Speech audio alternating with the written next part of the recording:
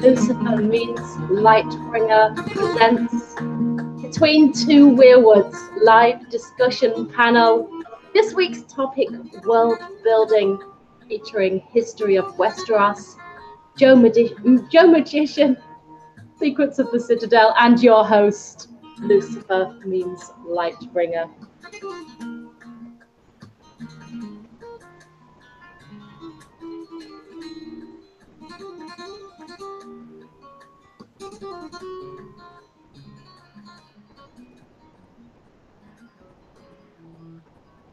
All right. Thank you, Mr. John Walsh, for the good flamenco guitar, as always. And uh, I forewent the, uh, and thank you, Gemma, for reading our lovely introduction, of course. I forewent the actual video intro because I've had a whole bunch of trouble trying to get that to work with Google Hangouts. Uh, so eventually I'll get that happening. I'll talk to somebody smarter than me and figure that out. But we got you a picture and we got you wonderful Gemma. So that's gonna, it's gonna have to get you in the mood for today. So with that, let me introduce my guest, starting with Gemma from Secrets of the Citadel. Say hello, Gemma. Hi, I'm Gemma from Secrets of the Citadel. I'm really excited to be here and to be talking about world building in the Song of Ice and Fire. Thank you for having me on Lucifer Means Lightbringer. Um, let's get some. Yes, this is going to be a good one. This is going to be full, full on nerd apocalypse here, but we will not forget to uh, keep keep in mind the Harding conflict, of course. So Aziz from History of Westeros is my next guest. Say hello, Aziz. Hello, Aziz. Oh yes, you didn't mean that. Yeah, no, that's that's an old joke. It's not really that funny anymore, but sometimes it catches you by surprise. Yeah, hey everybody, I'm Aziz from History of Westeros, and this is a really fun topic that I'm excited to discuss. Of course, um, my show focuses on this kind of topic in a sense quite often, so uh, it's right in my wheelhouse.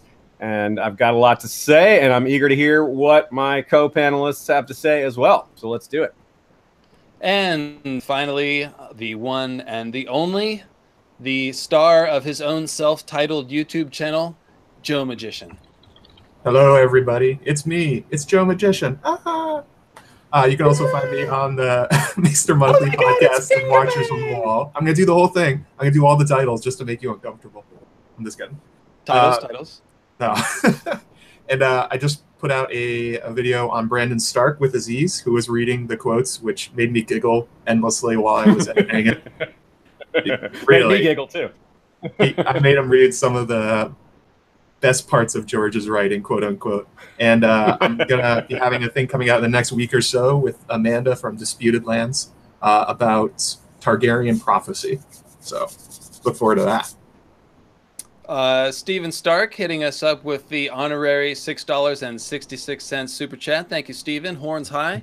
Uh, he says, the "Dream panel. Really looking forward to this one. Is anything missing from the world building? I've noticed very few festivals or holy days. Mm. Uh, we do, we do have a section set aside for critiquing uh, the world building, but we will be fanboying for a solid hour and a half before we get to that part. So eventually, eventually. All a right. good balance. And, and I'd also like to give a nod to Sandrixian, the Hand of the Dragon, also creator of this lovely Sandrixian t-shirt. You can get her gear at sandrixian.com, and I think uh, I've yeah, we're all we're all grabbing some. She's got all kinds of cool stuff and more stuff on the way, including uh, Kerberos, uh, the very own uh, Care Bear Cthulhu hybrid uh, creation that was designed right here live on Lucifer Means Lightbringer YouTube channel not three weeks ago. So uh, yeah that's happening. Uh, guys, do take. Let's go back through, and I want you to tell me what it is that you have been working on most recently, or what you're going to be working on. Joe, I know you mentioned the one yeah. thing, but uh, Gemma, what are you? You you you were a good boy and uh, followed the outline. But Gemma, tell me uh, what you what are you working on lately? Um, I've been working on my Unraveling the Text series because every time I post a video that is not my Unraveling the Text series, I get a flurry of comments. When's the next Unraveling the Text? When's the next Unraveling the Text? Why are you wasting our time with theories about Bran Stark and the Night King when we need the next chapter? I'm already four yeah. chapters ahead of you. You know, this is outrageous. I kind of feel like George R. R. Martin, just a tiny, tiny bit. I mean, obviously on a way less huge scale of the Winds of Winter debacle. But so yeah, I've, I've been working on that. I can't what people don't seem to understand is I can't just do one chapter in isolation. I will do several chapters in one go because they they throw back to each other, as you know. So I've got about six now in the pipeline that I'm putting the finishing touches to. So there will be, there you go, Geordie Jedi. When is the next unraveling video? It's coming very soon, I promise. yeah, are you are you trying to say that people in this fandom can be slightly impatient? What? Uh, That's just no, no. beyond the pale. I mean, yeah. Uh, guys, are what do you mean? What happened to, to my new HD camera? Are you guys not seeing me in glorious HD? Let me just double check. Uh, no, yeah. You yeah, look as beautiful as you normally do. So yeah. Maybe you need to bump up your settings or something. I'm I'm here, baby. I'm in I'm in HD. I should be. Anyways, um, all right. So, uh, Aziz, what have you been working on lately? All right. Well, we have been working on the second part of a Blood Raven episode. We are this second episode is going to cover all his time as Hand. There's a lot to deal with there. The reigns of Aerys the First and Maekar, and there's a lot of this is the time period when the prophecies that Rhaegar stumbled on later got discovered. Uh, this is Maester Aemon, Blood Raven, Aerys the First, and uh, all these other guys who got that stuff started, the stuff that Rhaegar kind of stumbled onto later and started mailing. I almost said emailing, emailing Rhaegar, uh, Aemon about on the wall. Yep. Basically. and uh, and going back and forth on. So that's really cool stuff. And there's a lot, obviously a lot of Blackfire stuff in that episode. And after that, we're going to be working on Nymeria. Um, Nymeria, not the wolf, but the Rhoynish uh, person of uh, of great fame from history. There's a lot to say about her, and she goes to so many interesting places. So that it's also, you know, we get to explore Sothoryos and and Naath and the, the Basilisk Isles and all this cool stuff. Plus, then, and then just let alone the politics that and adventures that happen once she actually gets to Dorne. So, lots of fun stuff there. And before that, we did a Crypts of Winterfell episode, and um, been releasing a lot of our panels from Con of Thrones, like you have. That's been a lot of fun too. That So about that- covers it. Would that be uh, maester.amen at glasscandle.net? yeah, or maybe uh, c- or maybe at nightswatch.org. You know, I don't know how they how they do these things. Glass Candle's like the server in that in that instance, but uh, yeah, there will be plenty of cat sightings. And you guys, you missed out about ten minutes before we started. Aziz, Aziz had pointed his camera at the floor and was just giving like full full on belly rubs to his like fifty pound cat or whatever. it I was in a belly rub. That was something else. He like likes to be spanked. Anyways, uh, okay, so I like to ask all of my guests here on Between Two Weirwoods uh, one simple question, which is what makes George R. R. Martin great? And of course, uh, if you guys have watched the panels that I put out from Con of Thrones, you know that I did a panel called What Makes George R. R. Martin Great with two out of three of today's guests, with Joe and Gemma. And uh, Aziz was actually supposed to be on that panel, but Aziz was a big star and was doing 12 other panels and was conflicted out of that one. So uh, originally, the idea was to sort of just take up that topic of what makes George great and do another panel with the same guests and this time invite Aziz uh, because there is so much different things to talk about. But as we uh, chatted this week, we sort of zeroed in on world building as one sort of really cool aspect of George's writing to vamp out on.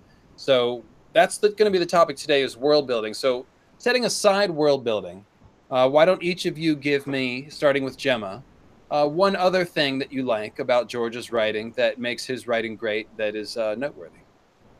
Wow, yeah, I, I I struggled to think of one thing, and I also struggled to find something that wasn't necessarily related to world building, and I couldn't. This is related somewhat to world building. For me, it's the foreshadowing. It's it's all about foreshadowing, because this world is just full of it. Every word, every statement, every bold statement from a character that inadvertently foretells their doom, the the dreams, the prophecies, the visions.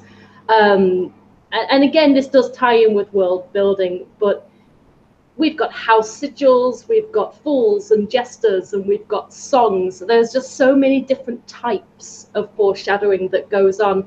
Um, one particular example I really enjoy is things like the symbolism that goes on, like the weirwood trees in the respective gods' woods of all of the noble houses all have a very distinctive and different look about them. The one at Harrenhal just looks utterly terrifying, and it's got three huge scratch marks that bleed red.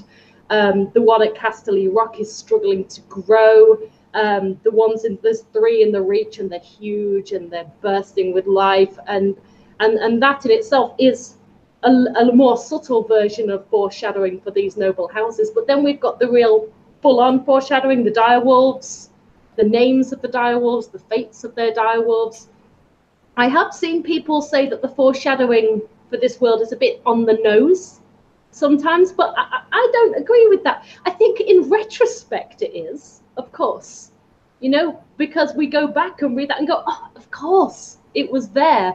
Um, these passing comments that slip by you the first read, but then when you go back, it is blatant. It's and to the point where it's almost hilarious. I've got a couple of examples. Um, Theon says that Hodor did not know much, but no one could doubt that he knew his name. Um, Catelyn, Catelyn felt her heart had turned to stone. At the time, you just think, oh, that's, you know, she's, she's really feeling it right now. You look back on a reread and go, of course, it's all there. Um, the Hound tells Arya, keep your mouth shut and do as I tell you and we may even be in time for your uncle's bloody wedding. I, I just love this stuff. I love it because you don't catch it the first time, so that it's not on. It's only on the nose in hindsight, and and that's kind of the point of foreshadowing. And this comes back to what we were saying, doesn't it, LML? That this is why it takes so long for George R. R. Martin to write this stuff, because he's going to have to go back, isn't he, and slip all of this in once he's got the theme and the, the arc established, then he has to go back and, and slide in all this incidental foreshadowing that you might not spot at, at the time. I've got a couple that haven't come to fruition yet. Um, we might want to discuss where we think that's going in the chat.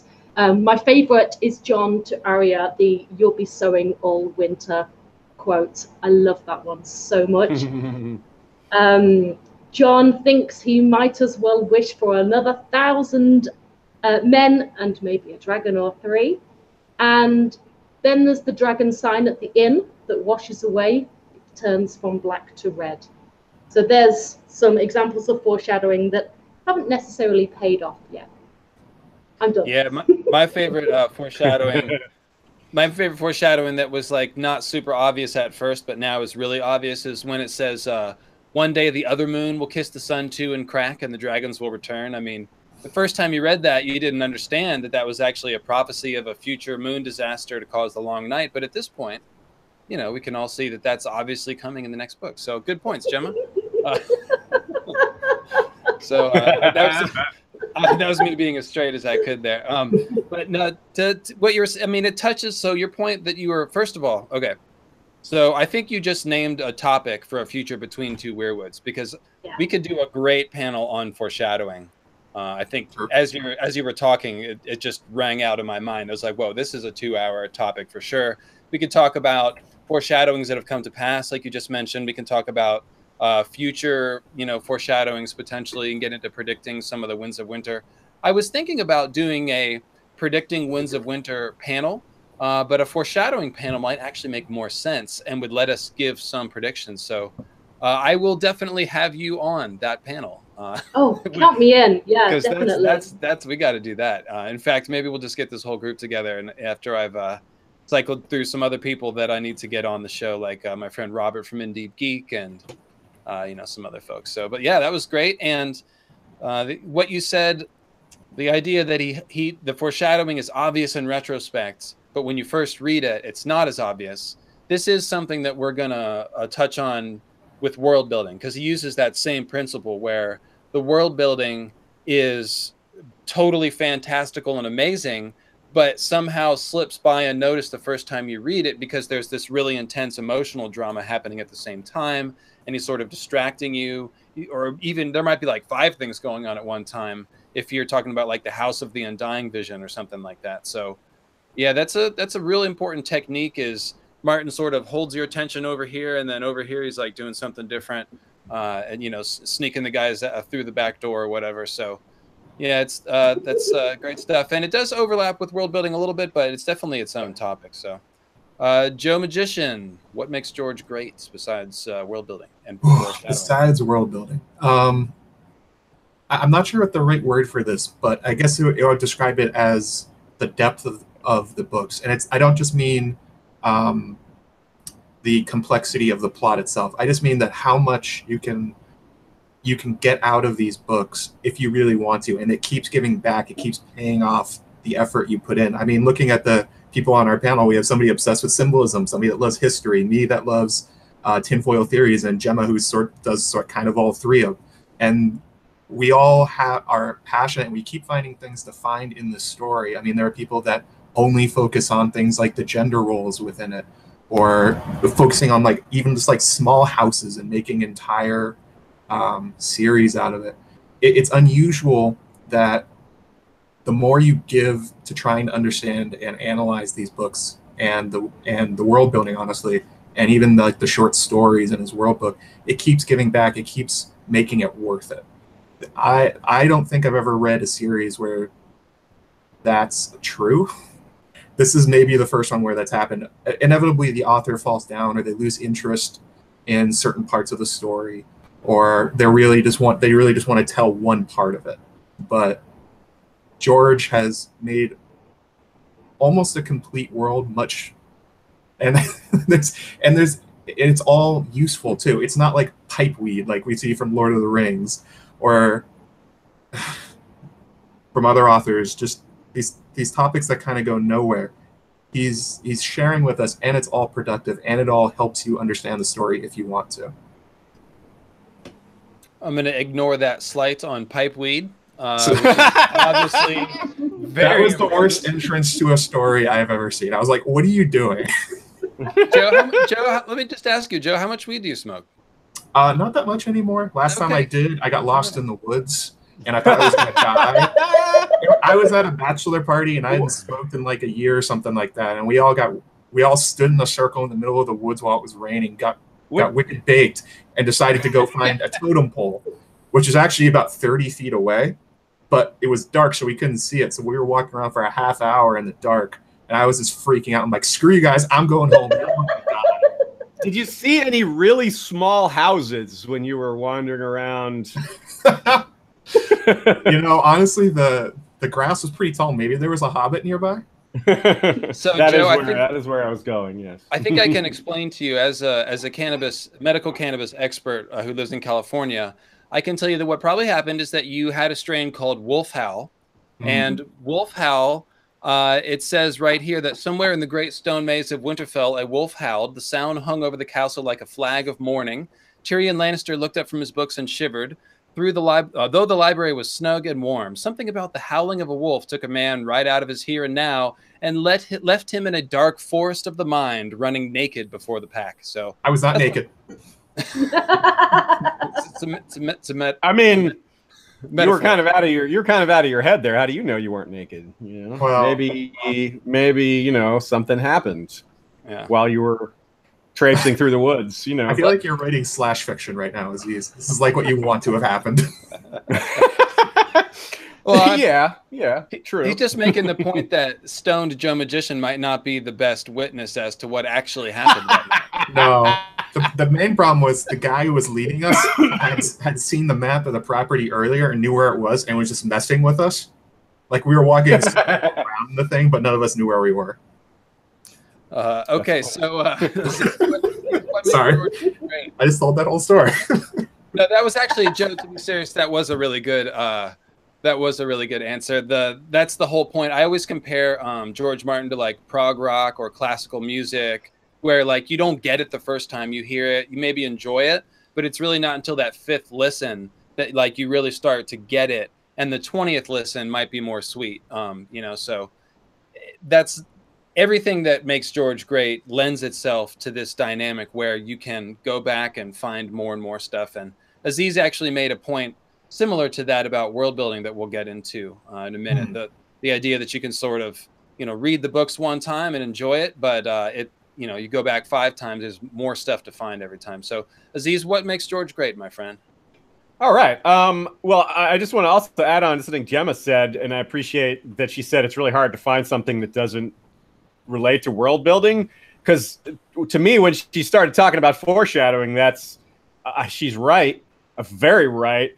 To me, also though, George uses history as foreshadowing quite a lot, and to me, that's part of the world building. So I, I'm not saying she's wrong. Obviously, I just want to show just how much world building bleeds into everything. Like I totally get where you're coming from. It's like it's really hard to pick something that doesn't involve the world building.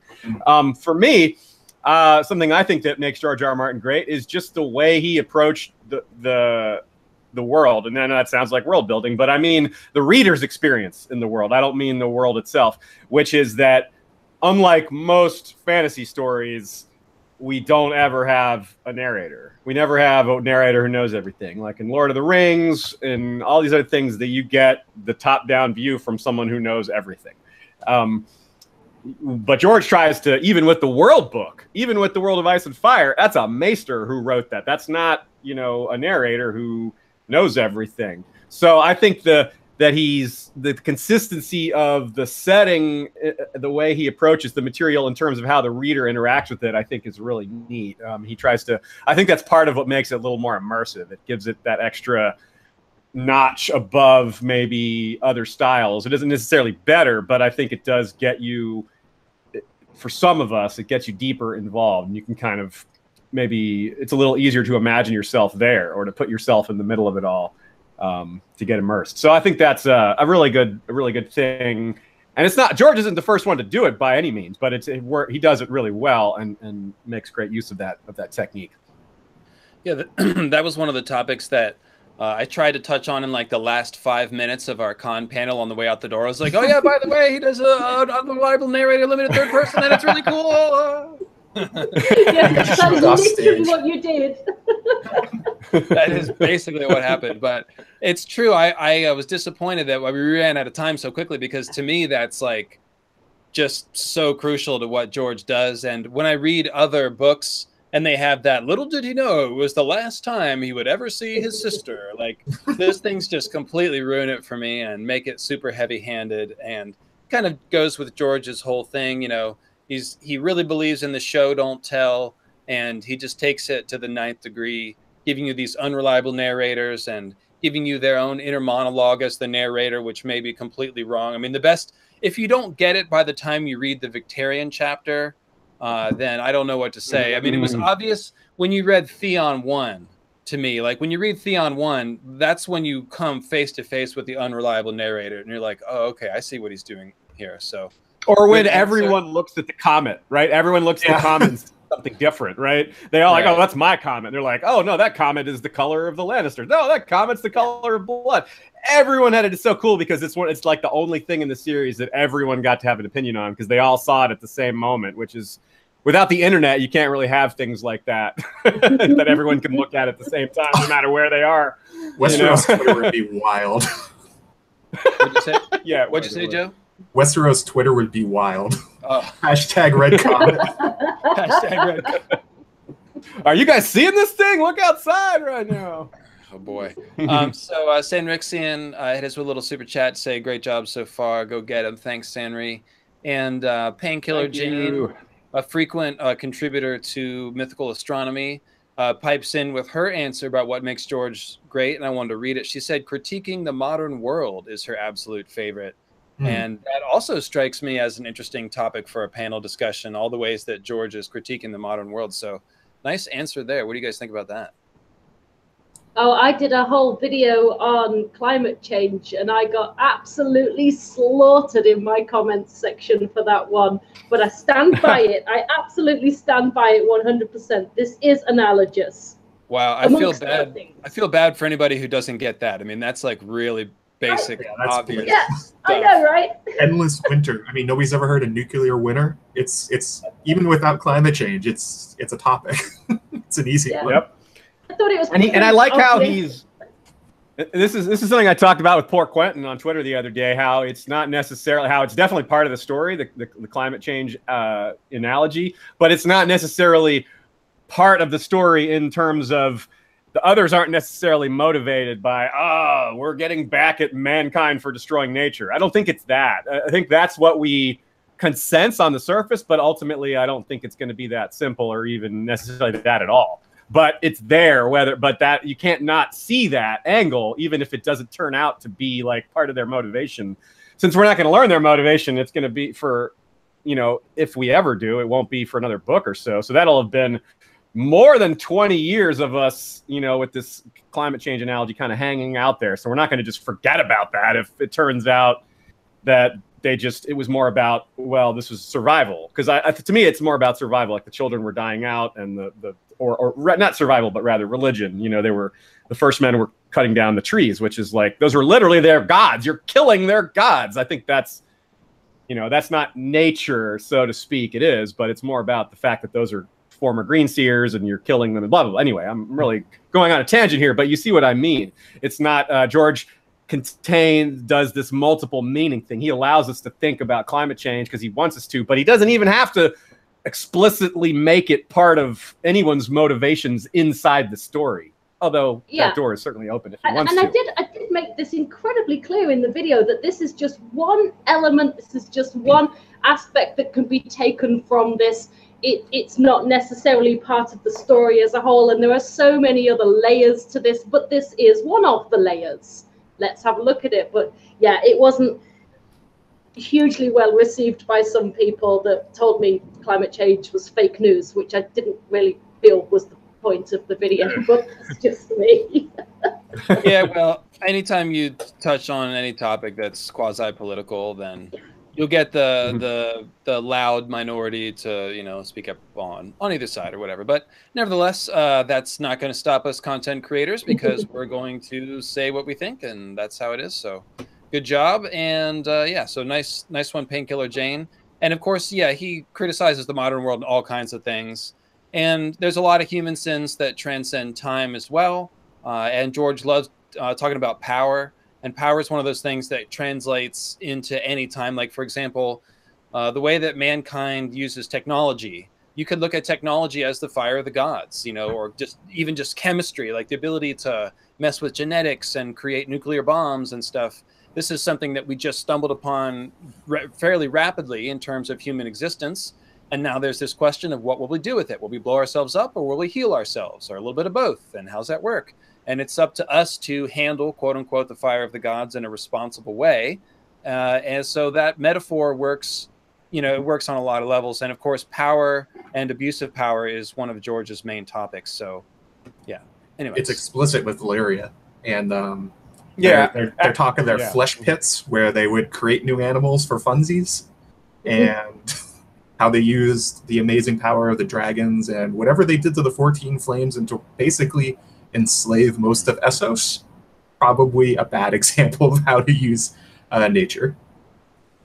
so uh, yeah, we'll go for uh, world's most controversial live stream ever sometime, and we'll do critiquing the modern world. That'd be fun. All right. Uh, so that with uh, with those uh, formalities and introductions uh, taken care of, we will now plunge into the main topic. Um, somebody actually had a good suggestion uh, to go ahead and start with the definition of world building. Uh, so Gemma, you want to take a stab at that? Oh, how I can't really put that in a single. It's a huge concept, isn't it? I mean, we could talk geographically, you know, like the maps, and we we have entire books of maps. But it's it's it's far more than just the geography, the actual world. It's it's what goes into the world, what makes the world, what makes the people, their cultures, um, their lifestyles, their day to day, everyday business, the way they look at the world, the way they view each other and themselves, and and all of the small nuances that have contributed to that. Um, and and I mean, I don't. I'm not going to launch into examples yet because I know we have so many from the Song of Ice and Fire. But yeah, it, it's basically it's it's everything that contributes to that realism. This is a fantasy, but and we keep calling it real fantasy, realistic fantasy, don't we? And and that in itself is a complete oxymoron. How can we say that something with dragons and demon vagina babies is realistic, but yet somehow somehow it is? Um, and it's the world building that does that. It's the world building. It's it's everything, absolutely everything, from the huge um, microcosm, macrocosm to to the mini, small, minute details. It's, yeah, basically, it's the environment. If you've got yeah. the characters as the players, the world building is the stage. It's everything about the stage. It's how is this world going to be different from Earth? Like that's usually how people start off with the assumption that it's an Earth-like place, except for we have ice demons and magic comets and magic volcanoes and what have you, what have you. George's fantasy is frequently called low fantasy versus high fantasy, with high fantasy right. being wizards yeah. flying around and throwing fireballs and uh, you know more developed magical powers, low magic being sort of like as if the real world is just turning a little strange. Uh, I guess is the way I, I describe George Martin. So the world building is the environment, and it is a huge topic, like Gemma was saying, because it is it's everything. It's the land, it's the places, it's the culture, it's the swear words and the idioms they use. It's the way that magic works and all that. So that's why this is such a huge topic and is worthy of a whole panel. Uh, and so world building. Um, here's how I'd like to start appro- approach this is with two different George Martin quotes. All right, and the first one is the very famous quote from William Faulkner, famous author. And it says, The only thing worth writing about is the human heart in conflict with itself. And George bangs on about this all the friggin' time.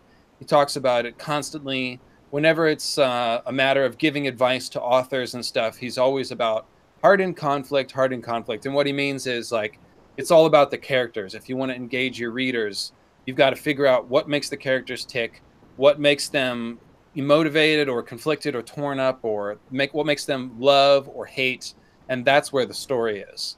Uh, but then on the other hand, we have this idea of world building, which is kind of the opposite, or at least it's it's the other part of the book. And so here's what George Martin says about world building and fantasy in general as a genre. He says, The best fantasy is written in the language of dreams. It is alive as dreams are alive, more real than real. For a moment at least, that long magic moment before we wake. Fantasy is silver and scarlet, indigo and azure, obsidian veined with gold and lapis lazuli. Reality is plywood and plastic, done up in mud brown and olive drab. Fantasy tastes of habaneros and honey, cinnamon and cloves, rare red meat, and wines as sweet as summer. Reality is beans and tofu and the and ashes at the end. Reality is the strip malls of Burbank, the smokestacks of Cleveland, a parking garage in Newark. Fantasy is the towers of Minas Tirith, the ancient stones of Gormenghast, the halls of Camelot.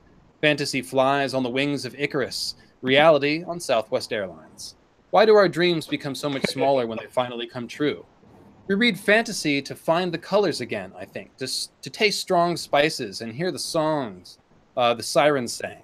There is something old and true in fantasy that speaks to something deep within us, to the child who dreamt that one day he would hunt the forests of the night and feast beneath the hollow hills and find a love to last forever somewhere south of Oz and north of Shangri La. They can keep their heaven. when I die, I'd sooner go to Middle Earth. So there's this romance of um, fantasy as a genre and all the things that make fantasy fantasy, which he's describing as you know glittering castles in the sky. I mean, um, but we at the same time we can see that both of these things are important because uh, he's always talking about the heart in conflict. He's saying it's the only thing worth writing about. So, is it is it the only thing worth writing about, or is it the dream visions of eating honeyed habaneros with scarlet sirens in Minas Tirith? And can sirens even go to Minas Tirith because they kind of need to stay near water. And anyway, so what we're here to talk about today is essentially the synthesis of the heart in conflict and all that fantasy stuff. Uh, Martin excels at working both angles at the same time and using them to complement one another. And there's actually a lot to learn by having a look at how he does this. George has basically tricked, if you if you guys have noticed, I mean, he's a lot of your friends are into Game of Thrones that probably don't read fantasy. This is a real coup for George because the fantasy audience is only so big, but he has tricked all these people that aren't into fantasy into liking Song of Ice and Fire. Uh, and so, if you want to write fantasy, you, and I'm speaking to you as the would be writers in the audience, which is probably at least half of us, if you want to write fantasy or sci fi or techno, steampunk, goth, horror, holographic anime, and draw an audience uh, outside of the established niche audience for that genre, then you're going to need to heed Martin's advice and keep the heart in conflict at the forefront, even while you build those crystal castles in the sky. And that's what we're going to talk about today. And this is the biggest secret to Martin's world building. So, uh, comments on what I just said, folks. The part about um, your friends that aren't into fantasy that are into it now because of Song of Ice and Fire, I think there's no bigger example than our friend Jeff or Brynden BFish, who does not like fantasy. It's not his thing. He likes military history. He likes things like Accursed Kings. He likes stories that really toned down the magic in it. And now he's at one of the most popular people in the fandom of a series that if you told him at the start of it that was actually about frozen ice elves and dragons and some kind of weirdness with like incesty stuff, I think he would probably say no. but obviously, he fell in love with the early parts of the books, and then of course Stannis fell in love hard with Stannis. But perfect, I think he's the perfect example of what you're talking about. Uh, yeah, got- and uh, go ahead. I think that's a good. That, I think that's uh, very true for a lot of us. We probably all have friends that that weren't really into fantasy that got into uh, this this series because of that. Personally, I was I, I was into fantasy as a kid and had fallen out of it, and was more my jam around the time I discovered A Song of Ice and Fire was other than uh, a little bit of being into, say. Uh, um, Wheel of Time, which my friend had got me to start reading before I had quit fantasy, but it was still going, so I'd pick up that every once in a while. I was really into historical fiction. That was my real jam. I, that was my favorite kind of find an author who actually cares about being historically accurate and then writing stories. That way, you're still learning some history while getting entertainment. Uh, but then I discovered this, and so many people I've shared it with have had a similar reaction, whether or not they were into historical fiction. Most of them weren't. It's just they, it, it it's because most fantasy puts the world building. Uh, they almost put it first, but don't put as Yeah. much care into it. You know what I mean? It's like the world, the fantasy elements are what drive the story. But in A Song of Ice and Fire, the characters drive the story, and they have to im- they have to interact with the fantasy elements. So we what we get is their human heart in conflict with itself over dragons existing and over White Walkers existing, rather than you know, oh, White Walkers are a thing, and we just walk around and deal with that. No, this is this you is a huge them. thing. Yeah, You can totally ignore them until basically the Winds of Winter. I mean, Yeah. or a Dance of Dragons. yep. so, and uh, uh, so I think that's awesome. Yeah. a lot of people in the chat are agreeing or saying, you know, what their, you know, that fantasy's not their favorite genre and they came from X or Y genre. So, yeah, this is definitely a trick that Martin's done. And throughout this conversation, you know, this is uh between two weirwoods is a very meta show. It's it's basically almost a writer's workshop kind of frame on all of the discussion here because I, I really just find it fascinating, and I think that most of us are either writers or we're big readers, and we find the whole writing process thing interesting. And uh, so, this whole thing of like tricking people that don't follow your genre into reading your stuff is is really cool. And I think that we should assume that when George is writing, he's writing for people outside of his genre. Like he's thinking about it that way uh, because he's very disciplined. Like anytime he does any fantasy stuff like world building, he follows these really strict rules so as to not let it take over the story. And I think that's why he beats it into everyone's brains about the heart and conflict because it's like the number one golden rule to all of his world building or foreshadowing or whatever else is like you just keep the characters always at the focus and in the center. Uh, so It's like music. I think it's like music, like how there's a lot of people out there Right. that'll be like, I don't like country music, but I like Johnny Cash. You know, some like how many times have you heard someone say something like that? Or I don't like rap, but I like, I don't know, Eminem. or something. Eminem's Eminem- common. yeah, like, yeah, people do say that one a lot. Yeah. Uh, or I don't like heavy metal, but I like I don't know Metallica. I don't know, whatever. People say that kind of thing all the time, and that's I think George is like I don't like fantasy except A Song of Ice and Fire. I think he's that kind of outstanding. It's it, it transcends the genre. The quality transcends the genre. It's really good. It Doesn't matter what genre it is. It's just such such such high quality. I think Yeah, you're so right. I think that that heart in conflict it is the golden rule for him, and he knows that that's his golden rule. That it has to be that that's ultimately what people care about. People care about people and, and what's going on in their lives. But that second quote that you read to us just then, LML, that was a gushing love letter to the genre of fantasy. I'm on board with that. Fantasy is my thing. Fantasy, I've loved fantasy from the day I picked up a book. I, I, I don't want my stories to be real and mundane. I've got that in everyday life. I want to go hard. I want big. I want flashy. I want huge. I want the imagination to run wild. But I do have another William Faulkner quote that I'd like to read to you. Yeah, go for and it. And it goes like this Read, read, read. Read everything trash, classics, good and bad, and see how they do it. Just like a carpenter who works as an apprentice and studies the master, read. You'll absorb it, then write. If it's good, you'll find out. If not, throw it out the window. And George R. R. Martin clearly took this advice, and this is what he has done, and this is what we touched upon um, during our panel, wasn't it? This intricate patchwork quilt that he's created. Um, he builds worlds, but he knows what his golden rule is. He never forgets that, and he builds this world, but he takes it from myth and legend and pop culture and other authors, real world history, like Aziz was saying, heavy metal, Marvel, and the list goes on. You know, it's and this is this is what's so awesome. Just one of the many things that's just so beautiful about this world building is there's there's a reference everywhere. You can if you know it, you can see it, you can find it. That's So, uh, real quick, uh, uh, Blue Tiger pipes in to tell me that in older versions of Tolkien's Legendarium, there are mermaids, but they are actually incarnate Maiar, uh, so they could actually go to Minas Tirith. So, thank you, Blue Tiger. Thanks, Blue Tiger, for coming in with the knowledge. I just How wanted great. to That's what we call on brand. Okay. I just wanted to chime in real quick with another series that um, that reminds me so heavily of the way George writes. It's the uh, Redwall series by Brian Jacques. I think that's how you pronounce his name.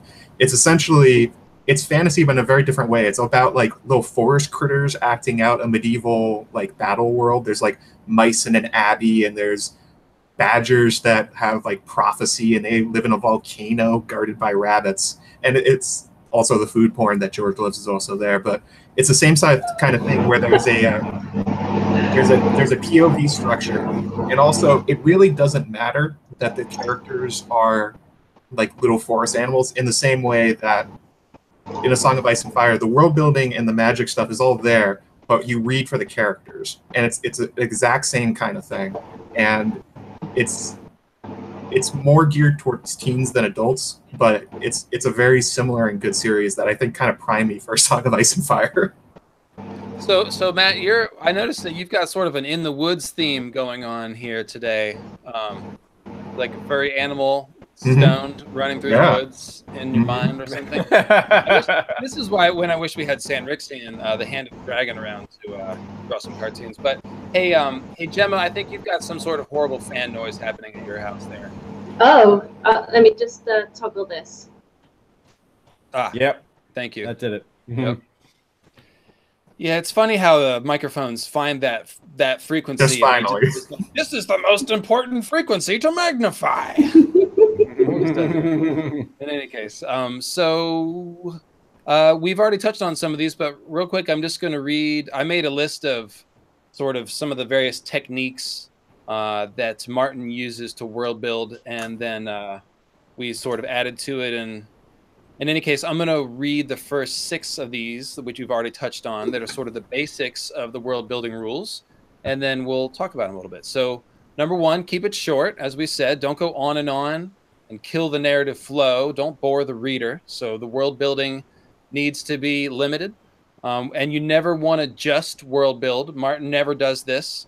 Um, he always juxtabuilds. Uh, ju- juxtabuilds. That's awesome. That's, good- great. I love that. that actually is that works. He always juxtaposes his world building with some sort of narrative tension, and this disguises the nerdy world building uh, so that the reader doesn't get uh, feel like they're being indulged with info dumpy world building stuff. There's a narrative tension on which hopefully has the reader's main attention, and then, like I said, the world building is sort of slipping by in the background, um, and ideally the world building will complement the narrative in creative ways. And more specifically, we want the world building to fit the POV of the character whose chapter we're reading. Um, we talked about this on the Nauticast, the two Nauticast episodes that I've done recently. Uh, one was about Bran's coma dreams, and the other one was about Dany's chapter where she gets the prophecy of the moon's cracking, and uh, you know the dragon's eggs appear to be giving off thousand lights and all this stuff. And both of those were an example of where the the dream visions worked with the themes of the chapter. Like Bran's coma visions very much are about his personal fears. He's falling and can't wake up. You know, there's a personal terror going on for Bran at that moment. Uh, and so the dream visions sort of only complement and enhance that meaning. The same thing for Dany. All her dreams about the dragons uh, have to do with her sort of becoming the dragon and overcoming her pain, becoming stronger, and becoming the mother of dragons and taking on this new identity. So it's not just dreams about dragons and stories about dragons, but they're things that tie into Dany personally. So the world building's got to fit the POV. And then moving on beyond POV characters, we've also got all the minor characters. And George is very fond of talking about how every minor character of his is the hero of their own story. And so every little character, like Sir Shadrich the Mad Mouse that we were talking about on Twitter today, for example, he's got his little backstory. And George takes a minute to think about the backstory of every character. And their their that backstory is basically their heart in conflict. It's whatever their conflict is. If it's a hedge knight that's down on his luck, his backstory is about how he got down on his luck and what's motivating him and making him tick in the world. And uh, I was just reading the Sansa chapters with Littlefinger in the Vale the other day, and Littlefinger's addressing this actually like head on in a meta way. He's like, once you know what motivates somebody, mm. you can move them as a piece on a chessboard. And that's basically Martin telling you about the heart and conflict. It's like it's all about what motivates the characters. So um, I'll go ahead and stop there and turn it back over to the panel for comments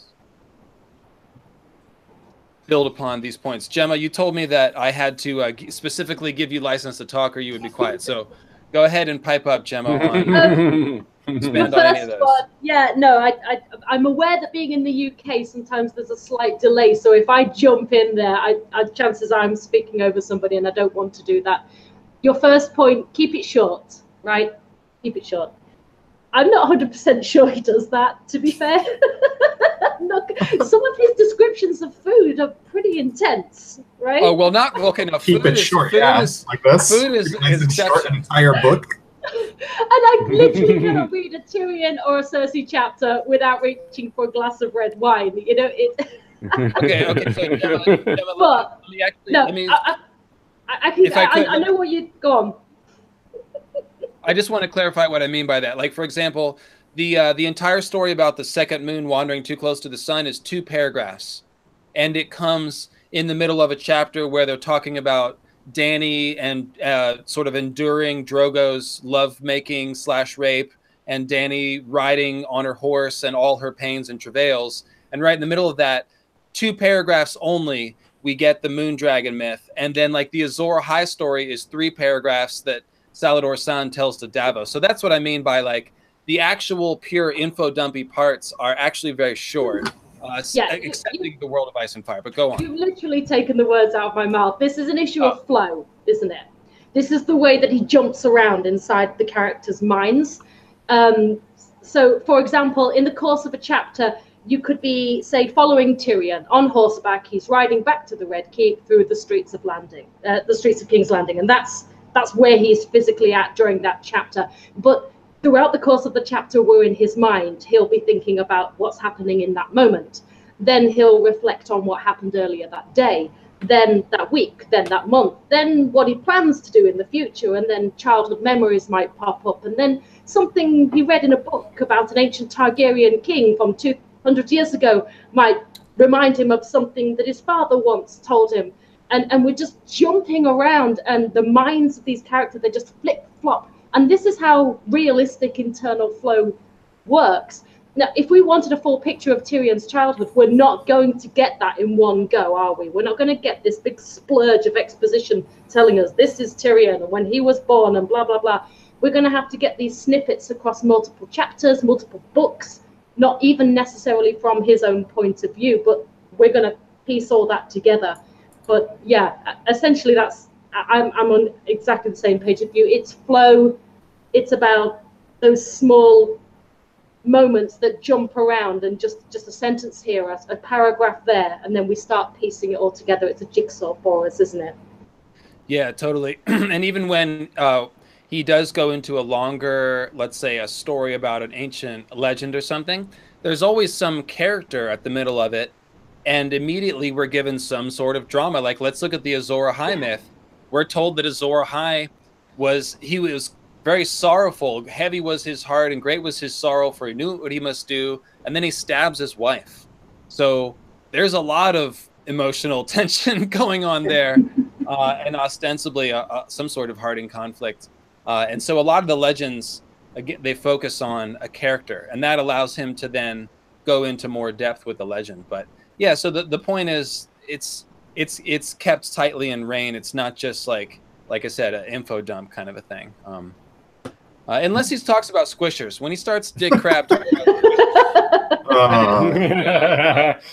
but uh, well, it's funny because when he has ex when he has exposition, which is rare, it stands out because it's rare. One of the more controversial scenes in all the books is the final scene we have, not counting TWOW chapters, which is Varys explaining to Kevan, who's dying. People are like, "Why would Kevan tell a dying man anything? Tell him that a lie to him?" I'm like, "Why would he tell him anything?" People use the, you know, in other words, people say, people sometimes say that Kevan is or Varys is telling the truth to Kevan because why would you lie to a dying man? But my question is, why would you tell a dying man anything, the truth or a lie? It's all just kind of a little odd.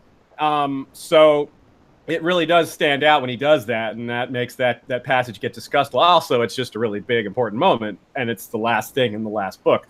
But it, it's a it's the same kind of thing with uh, the way you create tension by setting patterns. Um, this isn't really a world building thing; it's a writing thing. For example, in the series uh, Stormlight Archive, which I won't give any spoilers for, uh, but compared to A Song of Ice and Fire, there's there's two things that they have very distinctly opposite, and neither necessarily is bad. I prefer the Song of Ice and Fire version of this, although I really like Stormlight Archive. Okay, so this is what he does. George, early in the story, kills Ned Stark, kills other characters off. That gives you a sense of, oh, wow, any moment, any character can die. It gives you that tension. You have to be, uh, you don't need to be convinced that the character is in danger. You kind of just know it because of what's happened. Whereas in a Stormlight Archive, he kind of does the opposite. He has several yeah. characters die and then come back. A lot of characters die and come back. So what what ends up happening is you go, now you have to convince me this character isn't coming back. It's not that they, like they're dead, but you're still not convinced. They're like because the rules of his setting are that dead is death isn't permanent right? So you know, like, okay, to be fair, in Martin's world, death isn't permanent, but people who die and come back, they have consequences. They their memories are messed up, their bodies are unhealed, their blood doesn't work properly, their bodily functions don't work properly. So it's not like the TV show where Jon just comes back and is like, "Yeah, I was dead, it sucked, but hey, now I'm fine." You know, uh, so also got a cool haircut. Yeah. Oh, yeah, thanks, I'll see you guys later. He just lost some. He didn't lose any blood or anything. He just lost some curls. That's really all. Beautiful. lost a few, beautiful, lost a few inches. Curls. So in def- in defense of Sanderson, only because um I I uh, I do he's got a, a podcast called Writing Excuses, which is a writing podcast that I'm a big fan of. Um, even though I don't love Sanderson's writing, uh, there's certain things choices that he makes that uh, aren't I'm not as much into or whatever, but I do read his books. I do like them, and um, I think I almost like his writing podcast more. But what I was going to say is huh. when you when you break a rule. So Aziz, you made a good point. So as he's done so many death fake outs that death isn't believable or whatever. But it could be that when you choose to break a rule like that, that he's actually going to play on that, so that when somebody is finally dead, you expect them to come back and then they don't, and then that's a shock and he's a very yeah, yeah. next level kind of writer so it's possible that he's planning on doing something like that because when you break a rule uh, like that sometimes it's a conscious choice because you're you're then going to set a new expectation and then defy that sort of so Yeah, I I, think know. that's very fair. Yeah, Yeah.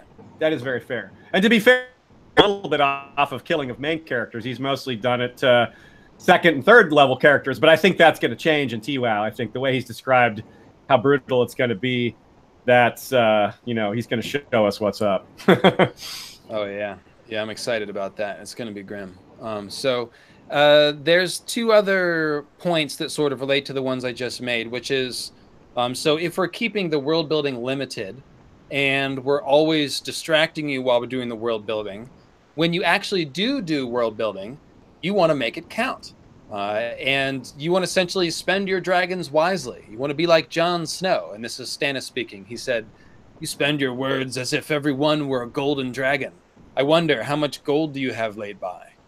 So essentially, this is a little bit of a meta wink by George, I think. So use your words wisely. When you go ahead and do the world building, use keywords and phrases that explode in people's minds, get their imagination starting, and then sort of quickly move on without belaboring the description so that it leaves you wanting more. Like, for example, um, we were talking earlier about how George is tricking people who aren't fantasy readers into reading fantasy. Well, a lot of us are fantasy readers, okay? Like Gemma was saying, like me and Gemma are in the same boat there. We love fantasy.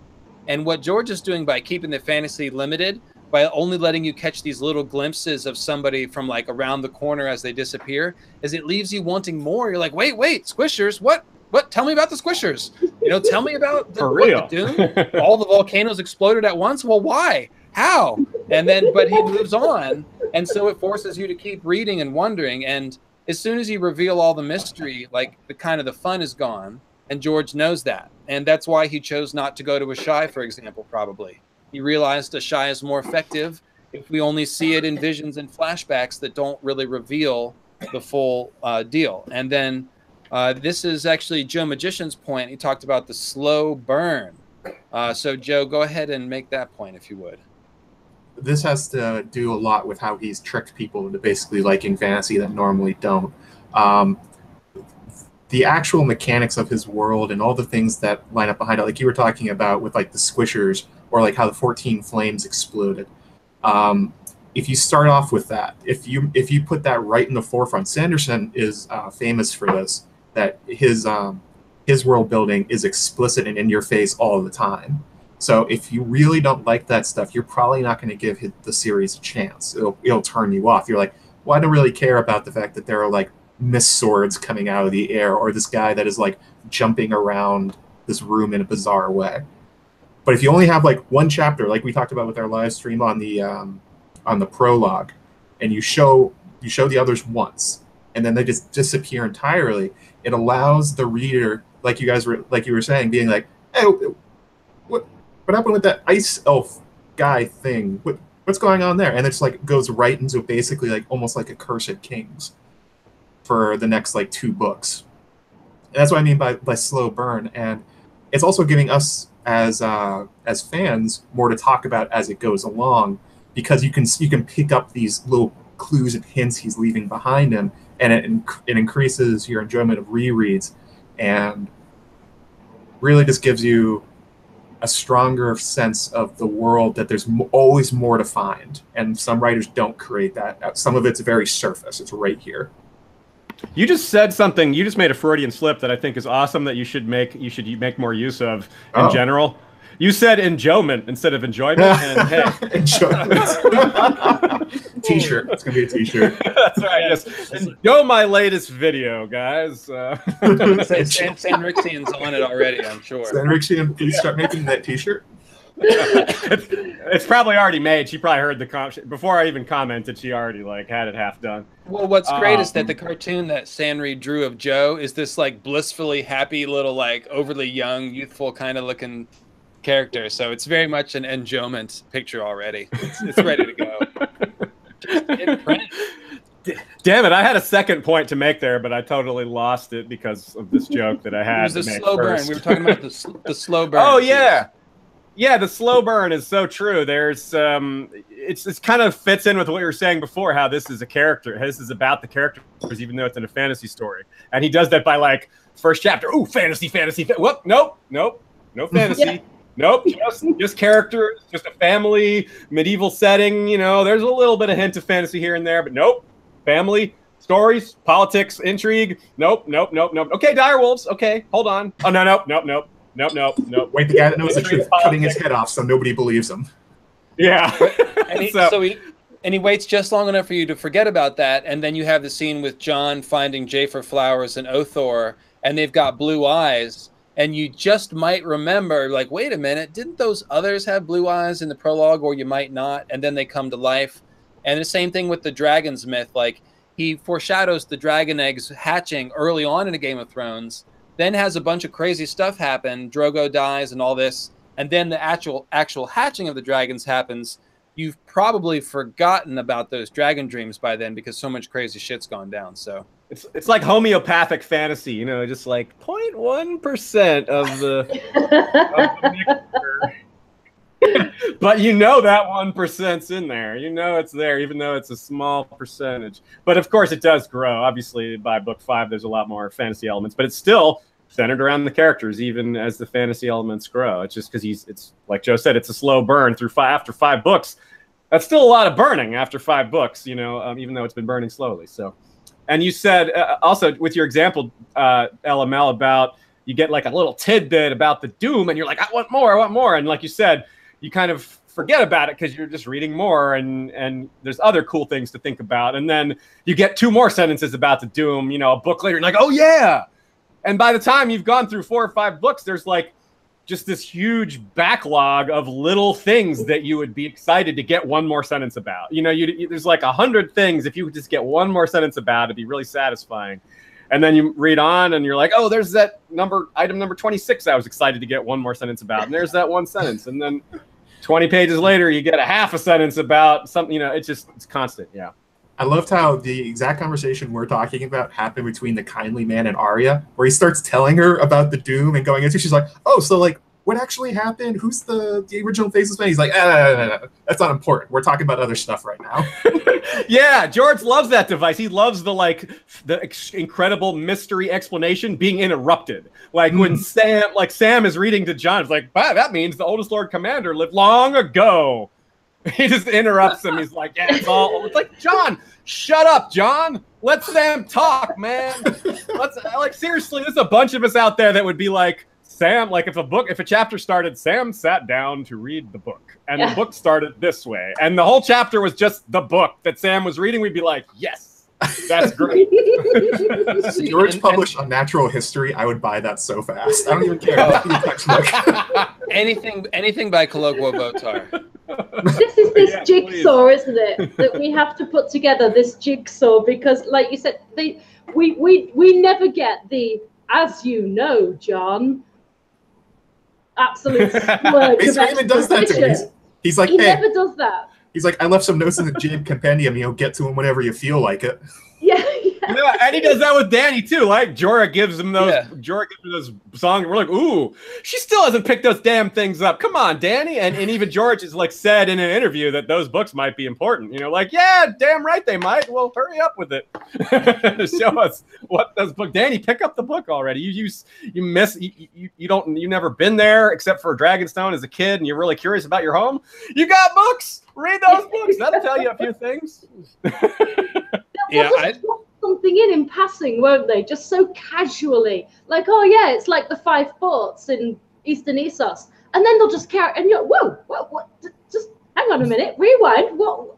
But it's done because why would they explain that when the assumption is is that we all live in this world? You know what the five forts are, but us as readers are absolutely ripping our hairs out. But it, and it's and it's the pacing, it's it's that teasing and that pulling back and that but we do have the odd chapter that's exposition heavy, but he does know when to leave that out. I feel that those slower chapters, they're like an investment in narrative tension That's because true. you know they're going somewhere, you know? I think one way he really, um, going back to the keep it short part and like how efficient he is with this, um, he almost never has the POV be the person that's the expert in the thing. Like, Yeah. or if they do, they almost never think about it. So when you're hearing about it, you and the character are learning about it at the same time. So you're not just getting like pages and pages and pages of exposition of somebody that knows everything. It's somebody just saying making an offhand comment, or uh, somebody asking Tyrion about dragons. So just for like a few paragraphs, he goes off on about it, but then it's over with. Yeah, yeah, exactly. That's what made, and Melisandre's chapter was such a huge surprise for that reason because we are Yeah. all like George for long. He said he's like, oh, you're not going to get POVs from characters who know too much. You're not going to get in Littlefinger's head. You're not going to get in Varys's head. You're not going to get in even Stannis's head. So I think most of us assumed that Melisandre was in that category. So when she had a chapter, and apparently she's got at least one chapter in the Winds of Winter, we were all like, woo! And that's a great thing that he did, right? He he set us up for that. We were not expecting a chapter from her, and so that made it an awesome surprise when we actually did.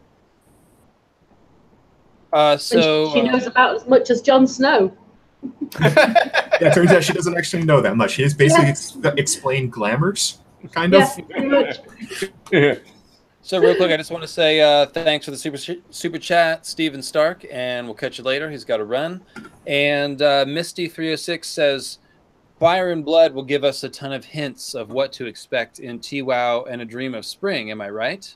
And I would say yes, and not only yes, but uh, the Princess and the Queen also gave was doing a lot of laying groundwork for the dragon battles to come. In my opinion. Uh, I think George wanted to give us some context for what dragon battles are like before he shows Dany invading Westeros. Uh, because if you look at the dragon battles in The Princess and the Queen, they all go bad. Every one. Uh, there's never any winners. It's most of the dragons and riders die horribly, and it's generally a mistake to take them into battle. So I think he really wanted to cut against this idea that, like, well, if you have dragons, you just ride out and you win and it's easy. Field of Fire, that's all there is to it. Uh, like, the Field of Fire was effective, but, um, you know, as soon as there's a dragon on each side, it becomes a mess.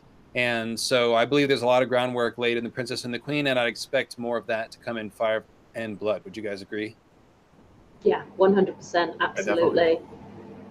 Also, in the uh, the his Yeah. short story, The Ice Dragon, the the dragon battle in that is exactly the same. Everybody, everybody's the worse off for having done it. Yeah, it's it's quite traumatic that one, isn't it? Really, the way she just runs off and leaves. Oh, spoilers in case nobody's read it, but yeah, it's it's, it's traumatic. It's beautiful and poetic, but it's really sad. Hmm. Nobody wins, like you said. Nobody wins. Yeah, so so he's he's definitely doing, and obviously the the World of Ice and Fire is full of that stuff. There's a ton of stuff in there that he wanted to give us before the next book. I mean, the whole series of episodes that Aziz and I did on the Great Empire of the Dawn and the Danes and Asshai, uh, the whole idea that ancient dragon lords before Valyrians existed in Asshai, whether they're the Great Empire or not, and then that, that the fact that they came to Westeros, this is a really important thing that we need to key in on before the next two books, and that's why he gave it to us. I think it's perhaps the most important piece of information in the world of Ice and Fire is the Fuse Stone Fortress on Battle Isle and all the information that goes with that, because it's the whole point. Like like we harped on a bunch of times, the Azor Ahai fable and all the Lightbringer stuff is from Asshai, and why does it matter if the story is about Westeros and the Starks? And the answer is that the dragons have tangled with Westeros and the Starks before. And that is what the Long Night Mystery is all about. And so, yeah, he uses these supplementary books, and the same with Dunk and Egg uh, with Bloodraven information. We're going to talk about Bloodraven and the world building that they do, uh, that he does with Bloodraven and the Blackfires. So that's another example. Uh, anyways, okay, so let's move on. Uh, some other techniques that George Martin uses that we're going to talk about. He uses world building to foreshadow. And of course, Gemma kind of talked about this already um, but uh, they're often one in the same. Uh, when he's giving you old myths about, for example, the second moon wandering too close to the sun and cracking to pour forth dragons, that's important because at the end of that book, Dany, the moon of Drogo's life, is going to hatch dragons. And so it's not only a myth and it's not only world building, it's also foreshadowing. Uh, I mentioned the idea that Cat um, gives us the story of Durran Godsgrief and the building of Storm's End while she's on the way to at to that parlay with Stannis and Renly when both of them will be super stubborn. And the whole thing about Durran Godsgrief is that he's really fucking stubborn. And so telling you that story right before that parlay greatly enhances the characters of Stannis and Renly at the parlay. And I might be screwing that up. It's it's in one of those chapters where Cat is down there visiting Renly. I forget if it's like before she meets Renly or if it's before they go to the parlay itself, but it's it's somewhere in the mix, and the point uh, remains. So, using world building to foreshadow, um, and then so moving on uh, in that first quote, uh, George Martin was talking about fantasy, and the first line he was talking about the language of dream, and the language of dream is really important. Uh, we talked about this in the Nauticast episode where we went over Bran's coma dream vision. And all of everything that's happening is these short clipped sentences. You don't get long descriptions. Uh, it's very confusing. When you're in a dream, nothing really makes sense totally. The seams of reality are very fuzzy. One scene might morph into the next. We're seeing things in symbolic representations like a three eyed crow taking corn from Bran's hand. Obviously, the corn symbolizes like Bran's life force or his seed or something like that. So everything is drenched in metaphor. There's a lot of stuff happening going on. Bran is falling. He's terrified. There's a crow. It's got three eyes. It's talking about this memory that he has of Jaime. He's seeing visions of dragons in the heart of winter. All of this stuff is happening at the same time. And the reason why it works is because he uses the language of dream. The language of dream essentially allows you to maintain the mystery of something like Asshai or the three-eyed crow. Uh, if, he's just if Bran was describing it in a waking consciousness, it would strip some of the mystery from it. Uh, but because it's coming at you in these almost incomprehensible visions and fragments, uh, it he's allowed to do world building in a way that isn't heavy-handed and obtuse. So that's the language of dream. And then a lot of times the world building actually comes in dreams and visions itself. Um, but even when it doesn't, he still uses that sort of dream language. So, um, comments. Another another way that pattern holds up, if we can call it a pattern, it's more of a technique, but I'm calling it a pattern here because, uh, like I've done with several other areas of his work, um, you notice when he does something differently. When he breaks that pattern, it stands out. So that's why I'm calling it a pattern. For example, so very often he the way he includes world building in his chapters is just in a way that you would find to make sense. Like if someone's like say Davos is at White Harbor, and so you he gets thrown in the uh, in the Wolf's Den. So we get the history of the Wolf's Den. That makes sense, right? That's uh, it all fits very nicely. But there's occasionally uh, that that pattern is broken. For example, when Tyrion is heading north with Benjen and Jon to go see the wall for the first time, he thinks about Targaryen history. He thinks about the Field of Fire and the dragon skulls underneath Castle or underneath the Red Keep, which is not related to where they're at at all. They're walking around the countryside in the north, and he's thinking about dragons. So that's that is really interesting when he kind of breaks from that pattern. Of course, this is one of the earliest chapters, so it's not necessarily the pattern isn't necessarily established. This is kind of something you notice on a reread, really. Um, but it's st- it's really cool, and you and you wonder, well, why is he doing that? And well, in retrospect, it has a lot to do with the fact that he's talking to Jon Snow. so, I was about to say. he's talking to Jon about, you know, there's like little heritage stuff mixed in there, ice and fire stuff. So you've got the surroundings of ice, so he's got to mix in the dragon stuff. And some of that might actually relate to Tyrion too, but obviously mostly it's about Jon, if not entirely about Jon. So that's just really neat the way he, he mixes the history in in a way that is kind of puzzling but then you're like oh it's not puzzling at all. It's just like right down the middle. But it wasn't so obvious because that's like what like the 15th chapter of the entire series so hardly anything is like really well settled by that point. I also really like the the perspective from bran. I think while he's warging summer and he sees the dragon come out of winterfell and this is what we're talking about, oh, like yeah. the language of dreams. It's like, was that real? Was that fake? Was did Bran see that? Was that a vision? And it asks all these interesting questions. And especially when you consider that we're that we're starting to get more information about Jon and maybe being a Targaryen at this point, it's like, well, dragon in Winterfell, and then there's the story about from uh, how they think there's actually a dragon under Winterfell heating the the um, the hot springs, and it's all these weird little things that don't make sense in the moment, but on a reread, you can go back and start piecing together. It's like, wow, he's been talking about like dragons in Winterfell for a long, long, long time. But it's it's all quick and it's not heavy-handed, and you need to notice it. Gemma? Yeah, he does this with symbols and, and motifs and themes as well, doesn't he? This is what Aziz was saying made me think of this. Um, that he establishes these very firm patterns that these are the symbols of this book, these are the motifs. We've got the Iron Throne is a symbol, the direwolves are a symbol. Um, themes are love versus duty, facing hard truths, and and birds, um, like LML mentioned, that's that's a motif A hand side to the outsider, that kind of thing. And he establishes those. This is the pattern, and he sticks with these. And we can get through several books, and these are still there. But then every now and again, he just throws in a new one, and it becomes a new thing, and it sticks out. that the comet, um, the chaos of war is introduced in A Clash of Kings, and it's just so prominent and so obvious that this is a new thing that's been brought in because it, it breaks that pattern that's been previously established. And, and it's really clever because it really brings like the, the initial Arya chapters in A Clash of Kings, it's really brought forward that the impact that this war is having and obviously relates to the title of the book, but he's still on the original themes and symbols that he's he brought in. He sticks with those. It's like he knows what he started with and he's he's gonna see it through to the end. But he gives us new ones along the way as well. Well said. Go ahead.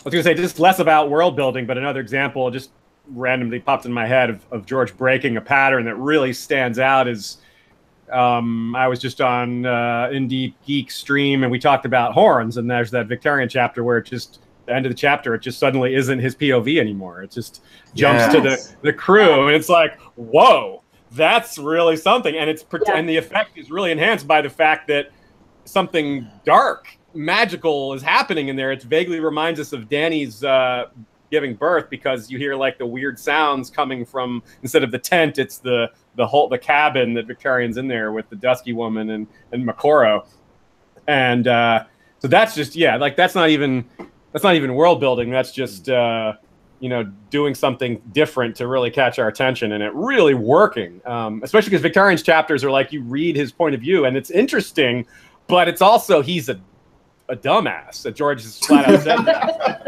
you know, dumb as a stump. I think's the quote. yeah, dumb as a stump. So you go from and George writes him really well. I'm impressed with how well he writes a character who's dumb as a stump. That's not easy to do. Like George, when George writes Tyrion or Sam, I love it, but I get the sense that it's a little easier for him because he says he's got things in common with these guys, you know. So it's a little, little closer to writing about himself. But George is nothing like Victarion in real life, you know. so like that's he's really got to just like, well, what would it be like if I was as dumb as a stump, really violent, grew up in this culture, and he does a great job of it. And then yes, and then when the narrative changes like that, it's like, whoa, hold on, hold on, what's going on here? This is cool. Okay, so hey, uh, Painkiller Jane, uh, to bring things back on topic of world building. Um, thanks. Uh, you got a Z's, bro. I'm just playing. Uh, so Painkiller Jane says that Martin's physical world building, landscaping, architecture, etc., is a wonderful foreshadowing tool he uses. He pours in the cultural traits into these to bring the people to life vividly. And uh, good comment, and it, it really called to mind a specific chapter from A Storm of Swords, uh, Sansa, which I've been reading all the Sansa chapters lately because my next episode is going to be the long awaited Vale slash Sansa episode of Moons of Ice and Fire. Uh, in any case, check this out. This is uh, notice how the Eyrie itself um, contributes to the appearance of Lysa Tully. All right. Sansa walked down the blue silk carpet between rows of fluted pillars slim as lances. The floors and walls of the high hall were made of milk white marble veined with blue.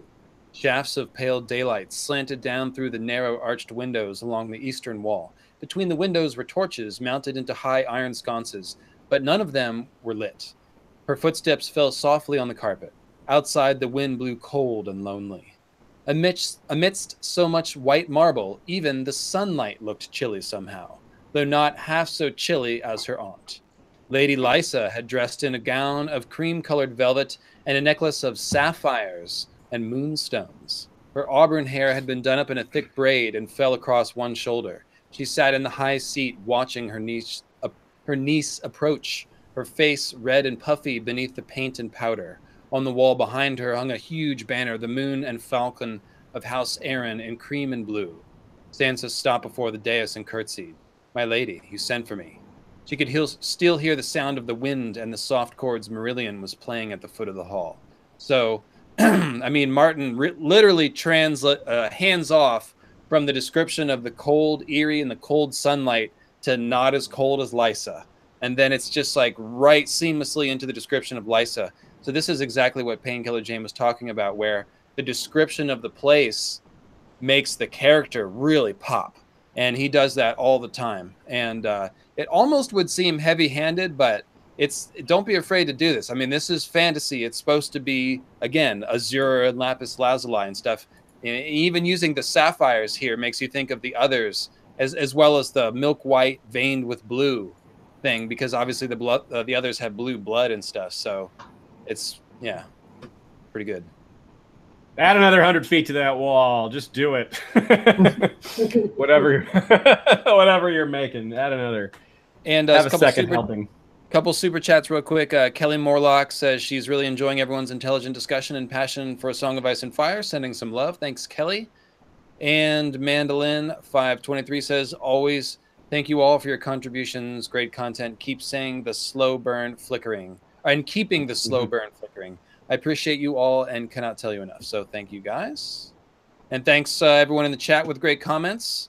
Uh, we are hovering around 190 watchers, and I bet if like few you go and share this link on social media, maybe we'll get up to 200. But I That'd am be cool. super grateful for that uh, that amount of attendance. That's awesome. So thanks, guys. Um, yeah, maybe maybe I'll get a wig. I try to keep the wigs to the mythical astronomy stuff because see, this is between two weirwoods is a very serious show. We're kind of like an NPR thing. You know, we got the flamenco guitar Super and uh, serious. super, very serious. Yeah. Yes, we, We, we talk about weed, uh, pipe weed, and enjoy. Very serious. oh god, How much we? geez. Sorry, I, I said that wrong. It's how much we enjoy pipe weed. That's right. There you go. How Too much- much. Oh. Stay out of the dark woods when you smoke. I did have a point, but you've disrupted my flow now. uh, It, it was probably about that passage of the chilly sunlight and the Sansa stuff. Does that jog your memory? Oh yeah, no. Um, I was thinking um, the the comment that was made about um, the the buildings and the environment. Um, this also works with the abandoned settlements, doesn't it? That Jon sees beyond the wall.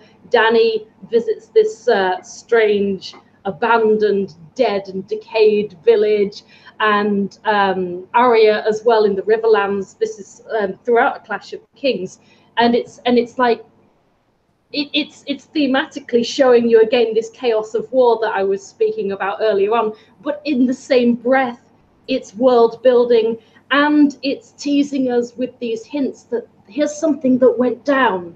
I'm not going to tell you what it was, but it did, and it was really macabre and gruesome. But moving on swiftly, and you're like, but, but why is why are there skulls that have been bleached white by the sun? Who were these people? What did they do? What was their culture? But we get none of these answers. So it's it's world building, it's foreshadowing, it's themes and symbols, it's it's everything all wrapped into one, and it's a big massive tease, like you said earlier LML. Just gives us just enough to keep us wanting more and more all the time.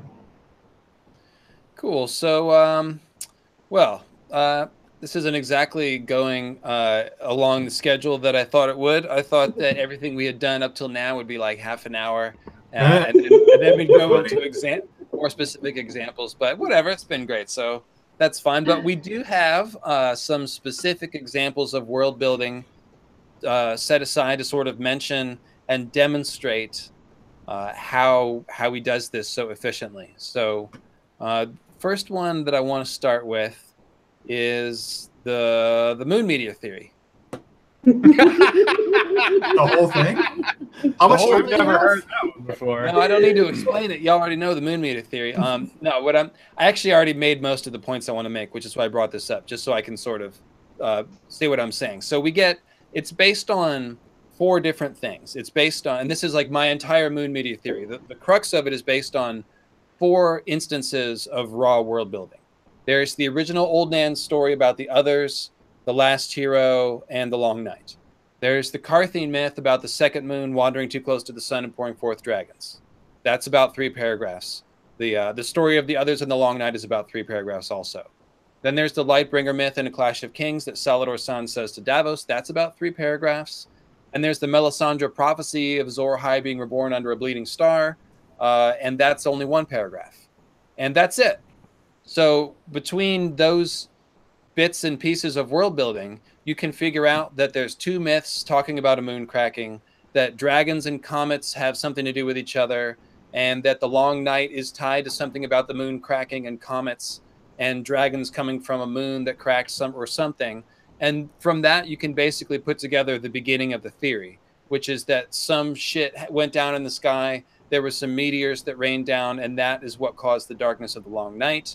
And you can start to think about dawn and uh, being made from a fallen star, which is also like two lines of dialogue. Literally, dawn is made from the heart of a fallen star. That's it. No other explanation. And then you can start to be like, oh, wait a minute. Dawn sounds, it's a glowing sword made from a meteor, and you can start to run wild with it. So this is all efficiently done in the first like two books in three paragraphs, one paragraph at a time. So that's, I just wanted to highlight that because it's super efficient. Um, and uh, what's really fascinating is the first instance, which is the old Nan story about the others and the last hero. I reread this whole chapter uh, a couple days ago, and it blew my mind the effectiveness of the world building here. So let me just walk you through this chapter really quick. Um, I made notes here that'll just go through bullet by bullet. So it starts with Bran, who's just awakened from his coma in like the last chapter or two. So he's up in the tower He's alone. He's crippled. He's sitting in the bed. He's hanging out with old Nan, and he's watching Rickon run around in the yard and play with the wolves, and he's watching people train in the yard and do all the stuff that involves walking, which you can't do anymore. Uh, yes, and there's your, there's your there's your requisite LML pantomime. So, first thing we get is the Harding conflict. Bran is a crippled boy who wanted to be a knight, and now he can't walk. So already this is jerking tears from us. And he doesn't want to hear stories from old nan and old nan sarcastically offers to tell him a story about a kid who didn't like stories. That's where it's at okay? So then she offers to talk about brandon the builder and she's like oh those were always your favorite brandon the builder. And then bran goes on a little inner monologue one paragraph and he's like oh yeah brandon the builder. He built winterfell and perhaps the wall and so that's world building there you're like oh brandon the builder built the wall and winterfell but then he quickly says those weren't my favorite stories. I don't like those stories. So you're you're right back to the Harding conflict and the idea that Bran is now arguing with old Nan, which we've never seen before. So this is distracting us from the world building. Then she's like, "Well, perhaps you'd like a scarier story about the others and the long night." And then he's like, "Well, yeah, I, well, yeah, I, I do like those." And so then we get the long night last hero story, and that's about only again three paragraphs and it's it's very dramatic. It's entertaining. So it's actually world building, but it's super entertaining. And then it's interrupted because uh, Tyrion has just arrived back from the wall and he's passing back through Winterfell. Then we get the scene where um, Robb lays his sword out across his lap and he's too harsh to Tyrion, and the wolves come out of the shadows and sort of scare him and knock him down. And then he offers the saddle. So again, we're right back to Harding conflict. Bran's the, the theme of the chapter that we started with Bran can't walk. Tyrion's now offering help. Uh, this situation is also super conflicty because we empathize with both Tyrion and the Starks at this point in the book. And so George is putting these two people that we like and having them fight with each other. So our, we're conflicted and the characters are conflicted. Then uh, we get, following that, uh, we get the news that Benjen is missing. And that's more hard and conflict stuff because Robb and Bran are very upset about it. And then Bran ties the last hero myth that we got earlier in the chapter back by saying, oh, well, the children of the forest, they helped the last hero, they'll help Benjen. And so now we're given this really important clue about the last hero that he was helped by the children of the forest, which many people have made many theories about. Uh, but it's tied into the drama of the story of Benjen being missing. So there's a lot of the elements that we talked about earlier on display in this chapter. And it's like not only do we get the last hero story, we also get a little bit more Brandon the Builder world building. Uh, we get stuff about the others in the last hero, and all of it is framed inside of Bran's heart Harding conflict. So I just thought that was like a stupendous example of the stuff we're talking about. And this is again halfway through the first book, so Martin was already good at this and only got better as time went on. So I'll I'll uh, pass it back to you guys with that. That's a really good way to put it, and um, a really good uh, kind of rounded out uh, way of breaking it down. I touched on this a little earlier um, with like kind of how he does a has a pattern in some of his chapters with the way he uses world building, and of course it's it's not a hard and fast pattern. Not every pat- chapter follows this pattern, but you see this this structure loosely speaking quite often, which is uh, using the North Remembers chapter with Davos as an example because this is a chapter I've have paid particular attention to in a lot of ways. It starts off with where is Davos? Ah, he's at the Wolf's Den. Okay, what's the Wolf's Den? World building, world building, world building. We, we, we learn about the Wolf's Den. And then the most of the chapter from there is resolving that. He interacts with this setting that we've now, he's, he's interacted with a little bit. Now that we've gotten a full history on it, it's the, re- the, the major interactions come. He has a conversation with Sir Bartimus. He thinks about how he's going to die, and uh, that's the conflict, you know, with himself. Uh, how he's got to say goodbye to his family and write a letter to his wife, and and do all this other stuff and lament his choices, et cetera, et cetera. And then, of course, it gets surprising. Things happen, different things happen. But all throughout that, you've got the same world building elements. You've got stuff that was before that chapter. We learned about White Harbor and who the Manderleys were long before that chapter. So there's a lot of uh, build up already, a lot of things that we didn't necessarily know where they were going. Like we didn't know that the Manderleys would be important, you know, in a, in the way that they are back in books one, two, and even three. They hadn't really done a whole lot, but it all but it makes sense that oh, of course, White Harbor. It's one of the few cities in the entire uh, in all of Westeros, and it's in the north. It's where most people are. Of course, it makes sense that someone would eventually go there and interact with the setting, and then we would learn more about it. And uh, so it's another that's a perfect example. He's in conflict with himself, the heart, his heart in conflict because of where he is, and while while he's there, he naturally thinks about this place that he's in, and uh, we get information about it. Um, and another thing I want to point out, just as an aside to all that, something that's been percolating in my mind is just how, just the evidence of of how we as fans respond to his world building, uh, which is that, just from my own experience as a creator, um, the two, the most popular videos that we've ever done were about the Battle of Ice and the Battle of Fire, which that makes sense. It's uh, it's what's coming. People want to know about the Winds of Winter, and the most exciting stuff is in material we haven't gotten yet, in a lot of ways. But the next most popular things are like the Asshai video and Great Empire of the Dawn stuff that's all basically mostly world building, right? Like Asshai mm. is important, but it's mostly world building, right? It's we're like like David said, we're not going to go to Asshai. We might get some flashbacks of it, but Asshai itself, the place, isn't as important as the things that came from it that are impacting characters thousands of leagues away. And uh, but we're still really fascinated by Asshai, even though we all know it has very little to do with the story. So I think that's just um, it just proves how George has managed to capture our imagination on things that we know aren't quote unquote important. To us, they're important because we like them, and that makes them important. But so important, you know, kind of means different things in this context. But I think y'all get the gist of that. Yeah, it, it makes it's way more important that Asshai. I'm, oh. I'm, sorry, Joe Magician. I'm sorry, but we've reached 205 viewers. Oh my god! And uh, we've got to give the people what they want, which is apparently Rhaegarth Barbarian, as Sanrixian has named this look. Uh, so uh, yes, uh, but uh, by all means, carry on with your very serious. Uh, I was gonna. how, how, uh, how, can we now? That's just. I, just uh, I was going to say there. that it's it's more important that Asshai exists as a place and what it means for the background of the story than what it actually is. Like I'm sure, like the streets of Asshai are not as interesting as the fact that it symbolizes this great fallen empire and what it means for, especially like characters like the Danes. And I was gonna, I wanted to talk about your um, example of the Wolf's Den really quick.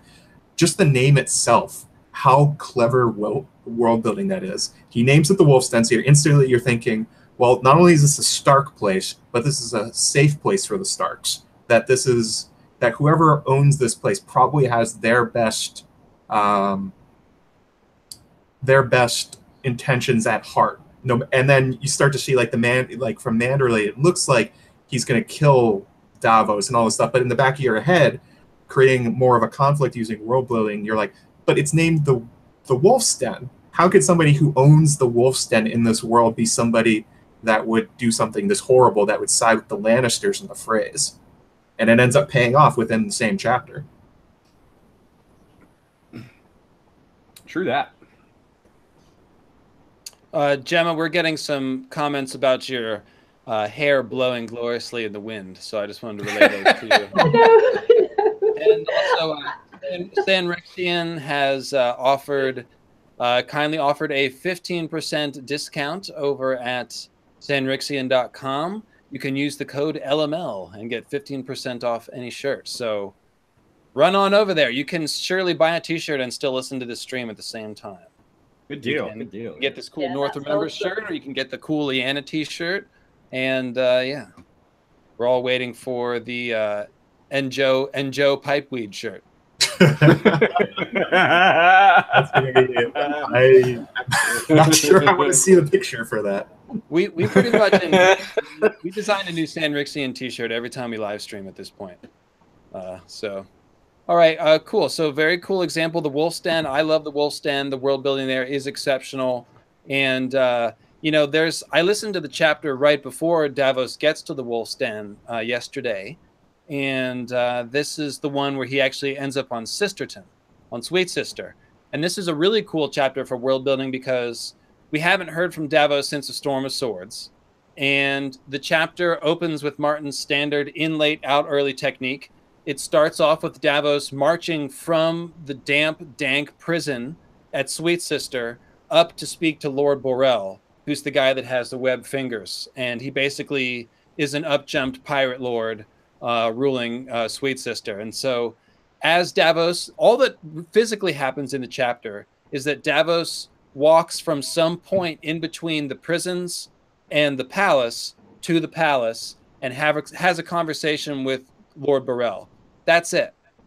That's all that happens in this chapter. But what actually happens is you get the entire story of what happened to Salladhor Saan's fleet after they left the wall. There was this storm, 29 ships blown apart. Some landed on Skagos with the horny goats, and some will never be seen again. And some are down in Davy Jones' locker with the sea dragons and the Merling King and whatever. And then we get the story of uh, the, the three sisters, how they've been fought over by the Eyrie in the north. And the rape of the three sisters is the name of something that happened there. Apparently, that sounds really awful. We get the the idea that the, the three sisters have been haunts of pirates and smugglers for centuries and centuries. We then start to hear a little bit about the Wolf's Den and the Manderleys. We actually get the first part of the story about how the Manderleys were evicted from the Reach and how the Northmen took them in and took their gold but let them keep their silver. And they set themselves up to be rich lords on the mouth of the Mander. That whole story is in this chapter. We even get a little bit of mythology where we get the whole Lord of the Skies, Lady of the Waves duality that the Sisterton people believe in, the mark of the Borrells, which implies them as fish people. So there's a little squisher talk. All of this happens in this chapter, but Martin does the world building so smoothly that it's like, I mean, if you if you set out a writing exercise to do this, it would be ridiculous. It's like write a chapter where the only action that happens is a guy walks up some steps and then has a conversation with somebody, and put do all these things at the same time and put all this information in there. So I invite you guys go back after this episode and re-listen to that chapter and just sort of like notice all the world building and notice how smoothly he does it and notice the techniques that he uses to do it. So it, it's really great. I want to add to that too because th- there's something in that particular chapter that really gets me that I think is awesome, and it's it's it's slightly it's it's world building, but it's really really small detail, which is and it's something that because like you said, there's this chapter is all mostly conversation. He walks from the the prison to the castle or whatever.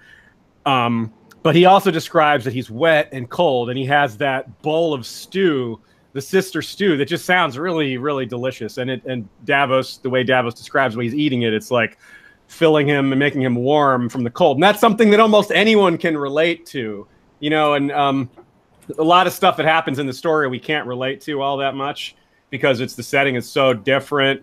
And uh, you know we don't have swords and dragons in our world. Well we have swords but we don't have them all over the place. And uh, any just anyone can kind of uh, connect with a hot bowl of soup on a cold, rainy day. I mean, that's just you know, in the midst of all this kind of fantastical history and all this war and stuff that it, you know is very alien but awesome. You get this this this thing that feels very familiar, and I think that's like that. It's kind of like an anchor to to normalcy, and I think that's really good. And I think that's it, maybe that's not appropriately called world building, but I think it is because it's the soup is very specifically tied to the location. You know, it's a it's a fish chowder made on an island that subsists on fishing. It's just uh, yeah, it makes sense. Uh, and that's actually another great thing is so that whole bit with the soup is a great example of world building because it's called Sister's Stew and it's this hearty stew. But he gives this dissertation about the different kinds of crabs that are in there. He's like, well, I won't eat spider crabs except for in Sister's Stew. And he points to his sigil, which is a spider crab. Uh, but the spider crabs look a lot like the white ice spiders. And so there's actually a whole tinfoil theory been spawned about the spider crabs and the others based largely on this passage and a couple other passages. Uh, Joe's Joe's like, oh, tinfoil, I haven't heard of. yep. Based on the sigil. Joe's gonna start paying more attention to the food descriptions now. yeah. So the the spider the you spider crabs. That's so good. Yeah, well, I'll explain it to you later, but it's it's pretty good stuff. In any case, even the the sort of most relatable thing in there, which is this hearty stew, uh, stew um, has like interesting world building because it's even implying uh, Borrell as a fish person because he's like, I feel such an affinity with these crabs of my sigil that I literally won't eat them. Uh, so I just thought that was kind of funny and amusing and endearing. And, well, it's also because of how much you know Westeros Westeros identifies with their sigils and how like Lyria talks about how yo you Westerosi take your sigils so seriously, you know. But uh, and how like but that's bit but it's true. It's part of the culture. Westeros like everyone identifies with their sigil animal or whatever they like because their father did and their grandfather did and their grandmother did and all these people it's it's pretty ingrained in that and that's world building right that's just the culture that exists in westeros is people identify with those they take that stuff seriously they're it's like following a sports team but it's part of your, but it's in your family for thousands of years instead of you know oh i like this team I love that we can get entire tinfoil theories literally from a single sentence within these this text. it, it's it's it's incredible, really. Um, you guys have got such great, very specific examples of world building there. I, I what I'd really like to do um, is is basically to reel off a broader spectrum um, it, oh, it, this is almost a list of things that I jotted down last night. I was thinking about this and I jotted down something, and then I went and watched Netflix, and then, oh yeah, there's this, and I came back and I jotted something down, and this just went on all night long because it, things just kept popping into my mind, and it's all these little things. Yeah, just, uh, take over, take it over, do it. Give us, right, give okay. us the full rundown. Okay, um, it, it's everywhere. It, it's every sentence, it's every word, it's every passing mention, every fleeting thought. It's the unusual flower with the strange scent and the unusual colour that we later discover was used to create a poison that killed a king at his wedding. Um, it's the culture of a particular religion, and that lends itself to the characters that come from that particular region, um, such as the knightly traditions of the Reach and House Tyrell. And we're getting an idea of the kind of characters that we can expect from that region. Um, it's, I mean, I've, I've Googled, is lamprey pie a real food, for example? You know, this is the thing, this is the things that we end up doing. Um, I've done comparative analysis on the wall and real life skyscrapers. I'm sure you all have, comparing the heights to see if this is if this is I can see Joe has done this. Guilty as charged. I, I, like it when the scientists talk about like how the wall is impossible, and they're like talking about the physics of it. That's where I hear about it. And George is like, uh, magic. Uh.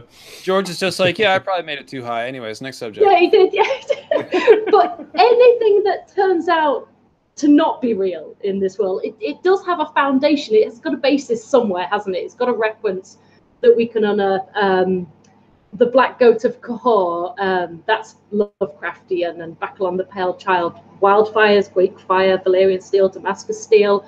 Um, Westeros has got its own Black Death. It's got the Great Spring Sickness.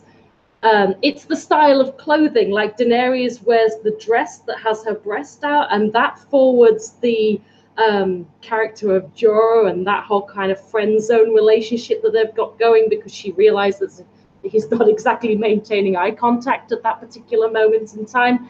But the world building's there because it's the culture of the dress and the style. Um, it's jewelry that then becomes a weapon. It's the weapons and the armor of different cultures. Um, I've got so many on this list. Um, what I do have um, is a lot of nicknames. I love the nicknames of the characters, and that, and that itself because they're not not I don't, I'm not talking about titles. I'm talking about nicknames. I'm talking about Barristan the Bold, the Hound, the Old Bear, Great John, Small John, the Blackfish, the Red Viper, the Mountain that Rides.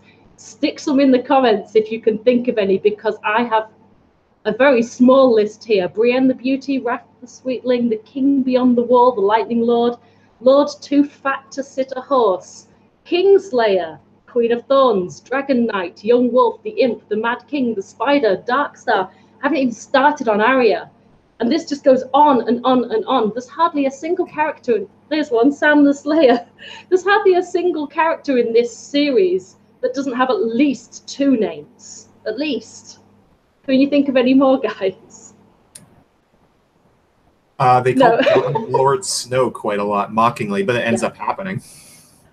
A little Yes, bit of- ex- exactly. they end up coming true quite a lot. Yeah, Yeah, Lyrio's got some good names. Uh, Yellow Rotting Sea Cow. Uh, this is one of my favorite ones. Um, Pain- Cheese Child monger. Snow Knight. Child Snow Knight. That's a good Oh, one. there That's you go. uh, Uh, so real quick, I just want to say that Painkiller Jane just dropped the link to Evil A's spider crabs theory, which she's not even sure that she believes in anymore, but it is a good write-up. So, Joe Magician, if you're curious, it is in there in the chat. Just uh, Awesome. Some good like- reading. Yeah, about for your for your future enjoyment.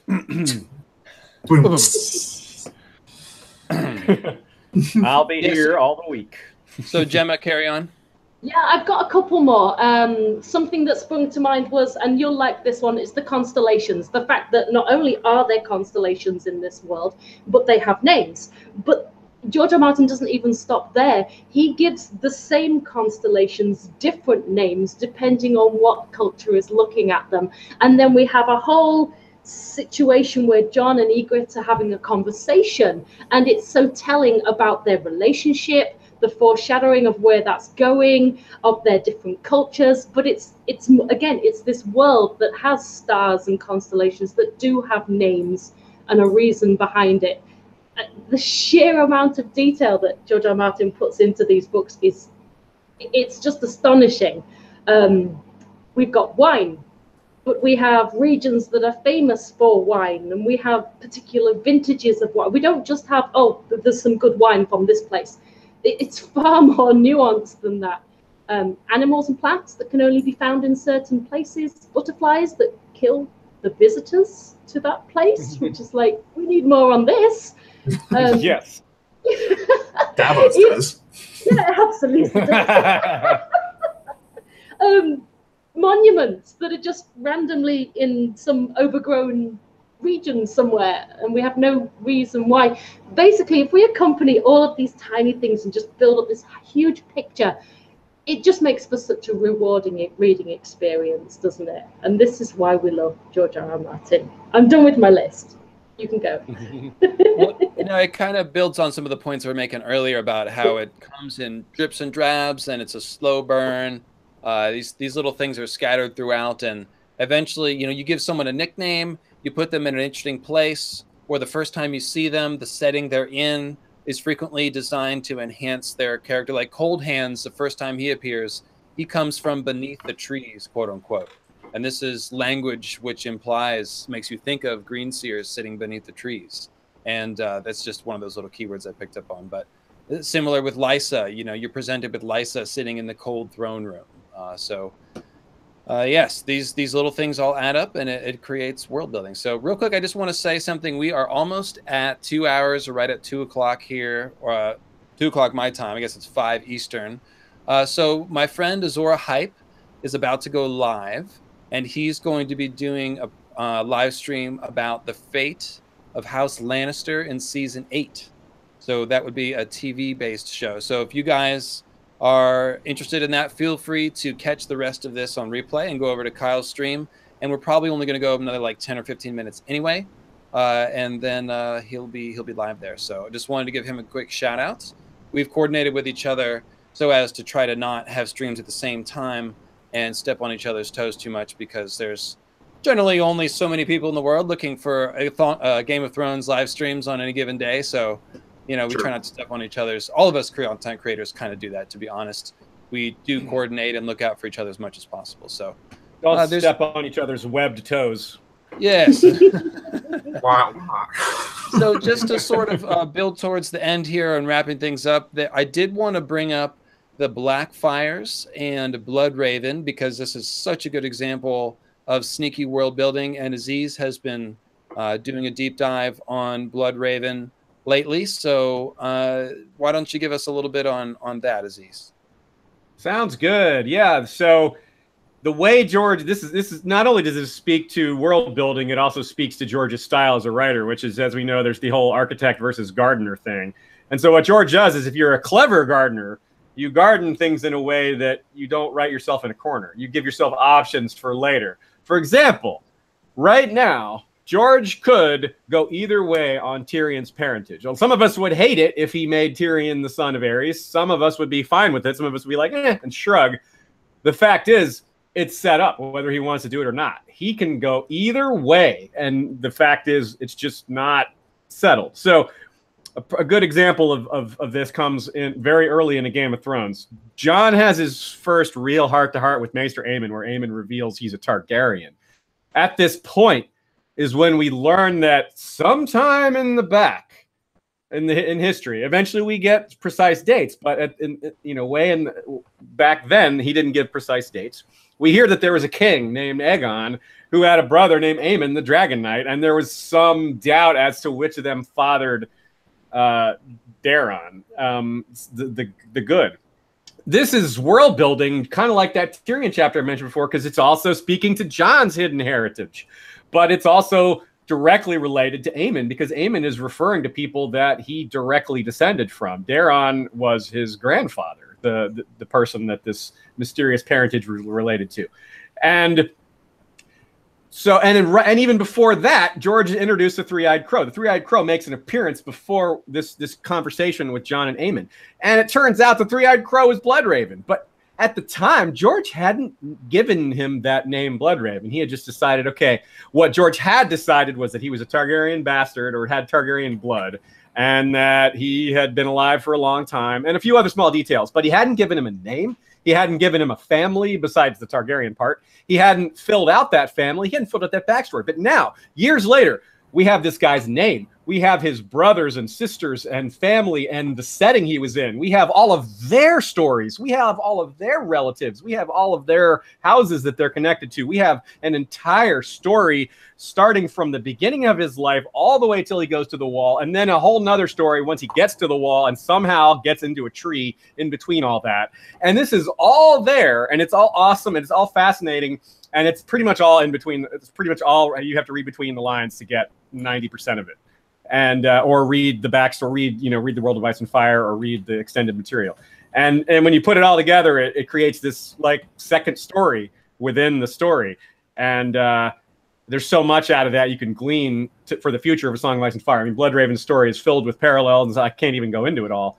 Um, you'll have to check out my episodes, but uh, there's just so much. Like I touched on earlier, Bloodraven dealt with the same prophecies that Rhaegar dealt with that now Dany and Jon are in the midst of. So it's and, and Melisandre, all these characters. So it's really it's it's beautiful how well it fits together and how well if you look at all these details, you don't find any you, you pretty much don't find mistakes. You're like, oh, George kind of screwed this one up here. It didn't, you know, this kind of kind of contradicts itself.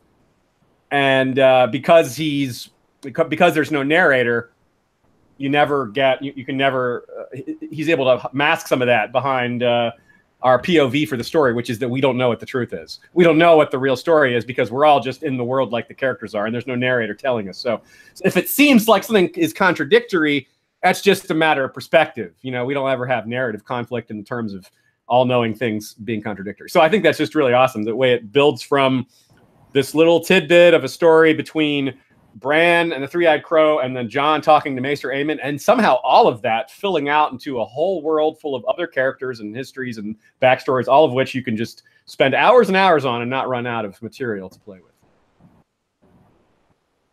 Yeah, I, I really like the way that um, the Blackfire buildup is such a slow burn until all of a sudden we meet Fagon and the Golden Company and it just pops out. Uh, and the same thing with Bloodraven. You know, it's like we hear these whisperings and all of a sudden you get this character. And really, like, if you haven't read Duncan and Egg, Bloodraven doesn't pop quite as much. Um, but when you've read Dunk and Egg uh, and then you and then Bloodraven appears on the page, then it's really friggin' uh, something. Especially So- if you Yeah, when you- the, when uh, he had that article- Oh yeah, if, and you when you read, I've watched you for for a long time with a thousand eyes and one. It was like, oh, thousand eyes and one. That's unmistakable. No one. That is way too specific to be anybody else. And then there's all these other clues that confirm it. And yeah, that's just a. I remember that moment reading that. That was just like, oh, boy, that's cool. Even Elio and Linda like stopped, jumped up to like make a tweet about that. Like, oh, thousand eyes and one. Blah, blah, blah. really cool. And then uh, jo- another thing that I wanted to touch on before we wrap up is uh, Joe. We wanted to talk about the idea of Martin as a short story writer uh, because this really contributes to Martin's efficiency. Like, kind of the underlying theme with everything that we're talking about is that the world building is done very efficiently and it's done in certain ways. And Martin often extols the virtues of writing short stories when he's giving, again, writing advice to young writers. He's saying, start by writing short stories because it teaches you how to give someone a backstory quickly uh, and not spend a bunch of time uh, building crystal castles in the sky, as I like to say. Uh, but you know, in a short story, you've got to get right to business with these emotional conflicts right away. So, Joe, you actually wanted to pull from some of Martin's short stories and make a couple of points. And by all means, why don't you do that? I was going to talk about um, three of them, but because we're short on time, I'm just going to talk about the most important one, and that is one of his early short stories called "With Morning Comes Mistfall." And the basic setting of the story is it's in a thousand worlds, it's sci-fi, and there's this planet called Wraith World. And even from just from the name, like we were talking about with like the Wolf's Den, it, it almost sounds something like Disneyland. It sounds like a theme park, and then you find out that's what it is. What happened when humans first came to this world is some of the early explorers were killed by these things that, that people call wraiths. They're not quite sure what they are. And you know, there's horror story things about how like they went crazy and this person's found mutilated over here. So people keep coming to this world trying to find the wraiths. And it becomes a um, it's a cottage industry. That's the only thing that works on this planet. And the really interesting thing about it is the mistfall is what happens is the entire world is um, shrouded in mists that rise and fall. And you're talking about crystal castles. There basically is one. It's called Mhm. Castle Cloud. It sits right at the top of where the mists come up in the mornings, where so you can see mountains poking up, and then it comes back down. And a large part of the point of the story is um, what we've been talking about the mystery of, of storytelling and not getting all the information, keeping your readers wanting more. And I think there's an excellent quote from this because this ends up being uh, a key part of the story. A scientist and a journalist have come to Wraith World in order to discover what the true wraiths are. They end up finding, spoiler alert for uh, When Morning Comes Mistfall, they find out they're nothing, that they don't exist. But, a second, let me pull this up. Okay, here we go. So here's the quote from the journalist to the to the man named Sanders who runs the castle. It says, "If Dubosky answers all the questions, then there will be no reason to come here anymore, and you'll be put out of business. Are you sure that's why you're so worried?" Sanders glared at me. I thought he was going to hit me for a second, but he didn't. I thought you were different. You looked at mistfall and understood. I thought you did anyway, but I guess I was wrong. You jerked his head to the door. Get out of here. And that's sort of his attitude towards uh, the world building, and you can see that all throughout A Song of Ice and Fire. He's asking you to buy in, and he's asking you not to really find all the answers. He's not. He's not going to tell you them. He wants you to come along with him and create a conversation with the reader and give you more to find. Because once you find out what the wraiths are, once you find out what the children are, once you find out what happened to the 14 Flames and the intricacies of the Empire of the Dawn, then the illusion is broken because that's what happens at the end of the story. With the race proved non-existent, the world just turns. Uh, Wraith World gets renamed, and it turns into basically just a industrial world, like all the others, all the other thousand worlds. And something that was wonderful in the thousand worlds is now gone. No. No. well, there's 999 more worlds. Yeah. the Hrangan worlds are still out there to find, but yeah, I love I love that. I really love that a lot. And and I think how many times have we said we're probably not going to get the answer to this, but that's not going to stop us speculating and debating and exploring. I, I think you're right. That there's so much of this act we think we we think we want to know, but perhaps no, not really. It'd be boring. exactly. It would. It would. What we're doing right now is the fun part that we're discussing yeah. all the possibilities. And I actually think it's kind of funny. And taking this story was written, I think, back in the 70s. It was a very early one for him. And then you hear all the stories from him going to conventions and people asking him questions and him refusing to giving answers on things like this story is why. He does yeah. he really doesn't want you to know everything that's going on because that's he knows the, better than we yeah. do. he knows it's better that we don't. That's why he says keep reading. That's yeah. that's that's when when uh that's the point of the of that short story. Keep reading. It's more interesting if you find out organically than if he just tells you. That, right. That's quite beautiful. Yeah, the nice thing about uh, is that nobody can leak George Martin's inner thoughts or his draft that he does on his very old computer, which is probably not connected to the internet. Uh, right? Doesn't he work on some super old word, word processor? Star, yeah. yeah. Okay. So. Oh, just because they're asking in the chat real quick. Um, this comes from Dream Songs, Volume One and Two. If you want to pick those up, they're excellent. You get to see a lot of his early work. There's a huge amount of connections with A Song of Ice and Fire because he's been workshopping a Song of Ice and Fire for like 30, 40 years now, and this totally. is where they all come from. But that one in particular, and a lot of them, yeah, yeah, and a lot of them connect to each other. If you really, if you're a fan of world building, you not only get George's world building spread across a bunch of different short stories, but you see like, like Joe said, you see those echoes in A Song of Ice and Fire. You see a lot of like those the early versions of concepts he used much later, all over it. Really, just so many good examples of that, and it's just fun. You know, like it's short stories. You know you got uh 20 minutes to kill in a waiting room or something. Uh, you got a 30 page short story. You can read sand, sand, kings i just read. Night flyers i just read both of those recently. Those are so night good. flyers night flyers took maybe an hour to read at most you know and sand kings probably a half hour you know. They're they're not big deep dives but you get that sense of oh this is george r. Martin. You know you get you feel that. It's like oh i recognize this. So uh, that's it's fun. Yeah i highly recommend them too Sand Kings, especially, it's such an odd concept that he's working with in that story, but he gets you there. It, like you said, it's only like a 10, 15 minute read, but you, yeah, by the end of it, you understand the Sand Kings, you understand the world where they came from and what the point of it was. And it's like, how did he do that? yeah, it's really like, cool. It feels like it's one chapter from a huge novel, and it's it's really short. It's unbelievable. It's really good.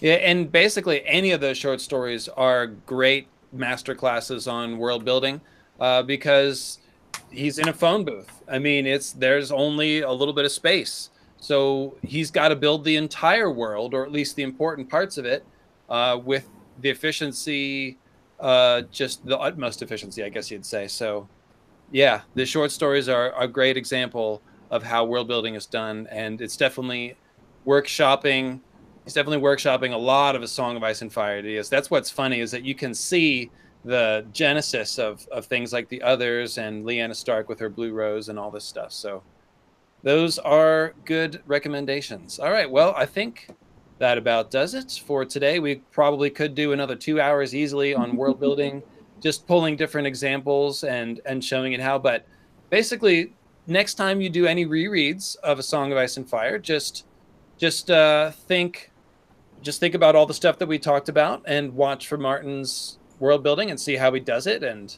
it'll just, you know, it, these are good lessons for writing. If you're going to do any writing of fiction, science fi, or science-fi, science fiction, Science fi. steampunk, steampunk, pretty good. holographic, goth, horror, anime, or whatever it was that I made up earlier. So He's written all of those. yeah, these are. we are could go with sci fantasy. Yeah. sci fantasy. All right. Well, in any case, thanks for coming, guys. And like I said, Azor Ahype is just going live now over on his channel, talking about season eight and the fate of House Lannister. So if you're into that, go over and check it out. Tell him I said hi. And I will be seeing you next with a regular episode of Mythical Astronomy. Thank you so much to all of my guests. This has been a ton of fun, as I knew it would be. And uh, starting with Gemma, tell everyone where to find us and tell everyone what you got coming. Um, I've got unraveling the text coming because I'm going to get lynched if I don't get a move on with that. Um, yeah, I'm Gemma from Secrets of the Citadel. I'm Gemma Secrets on Facebook. I'm at Citadel Secrets on Twitter, and I'm Secrets of the Citadel on Instagram. It's been an absolute pleasure um, to discuss this with with all of you guys. It's been great, and I think I've brought some much needed estrogen to this panel. But it's been fantastic. Thank you for having me on. Well, I did put on the wig, but yes, that doesn't really count. So thank you. My hair's getting kind of long. All right, cool. So Joe, uh, yeah, go ahead and pimp your stuff there, buddy. Okay, uh, you can find me on my YouTube channel. It's just youtube.com slash Joe Magician. On Twitter at Joe Magician42.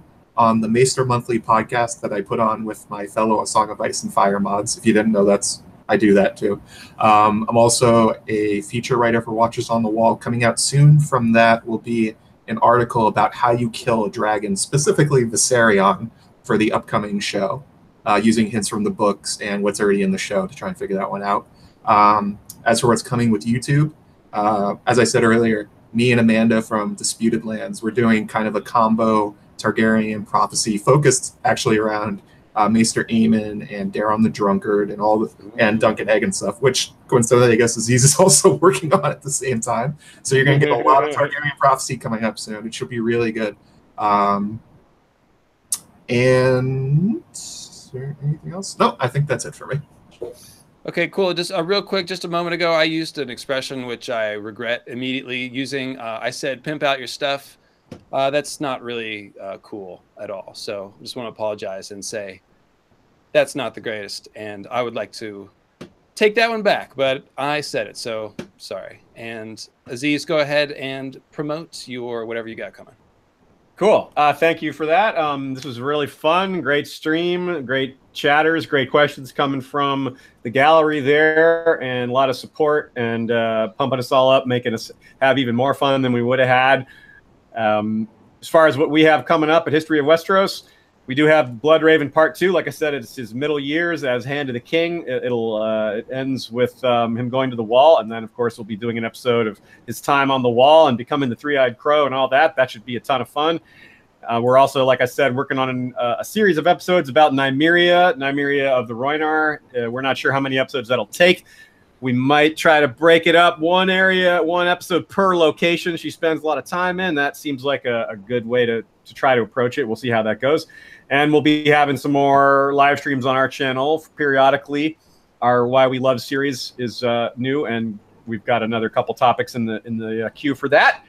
So look out for all that. And um, thanks again for having me on. And I enjoyed being with uh, Joe and Gemma as well. So thanks again, everybody. And we'll uh, see you next time in our various uh, corners of the Song of Ice and Fire internet. There it is. Thanks a lot, guys. Uh, it's been a great discussion. And I am told that uh, Kyle, after one quick false start, is now up and running. So there it is over there on the Azor Ahype channel. So thanks, guys. Check out everyone's channel. And Joe, I am really excited uh, for that collaboration with Amanda. And of course, uh, that is the Disputed Lands YouTube channel where uh, you can find a lot of cool Ironborn videos, say the least. She's told me what she has in mind, and it is impressive and awesome, and I really want to hear it. We're also going to do a live stream after we both release our videos. Nice, nice. Well, I will be there for that for sure. All right, guys. Thanks a lot. Thanks for everyone for coming. We had 200 viewers most of the time, or 190 so. We got over 200, so really appreciate it. It means the world to me. Thanks for the support, and I'm going to keep cranking out these between two Weirwoods panels. Uh, we just got some new ideas for panels today, so there'll be more coming in between the mythical astronomy episodes. And like I said, next time I'll be seeing you with an episode about Sansa and the Veil and all that really cool symbolism. We're finally talk about the Moon Door. Better believe that something called the Moon Door that we throw people out of has some mythical astronomy going on. So, uh, yeah, that'll be fun. That's it, guys. Cheers.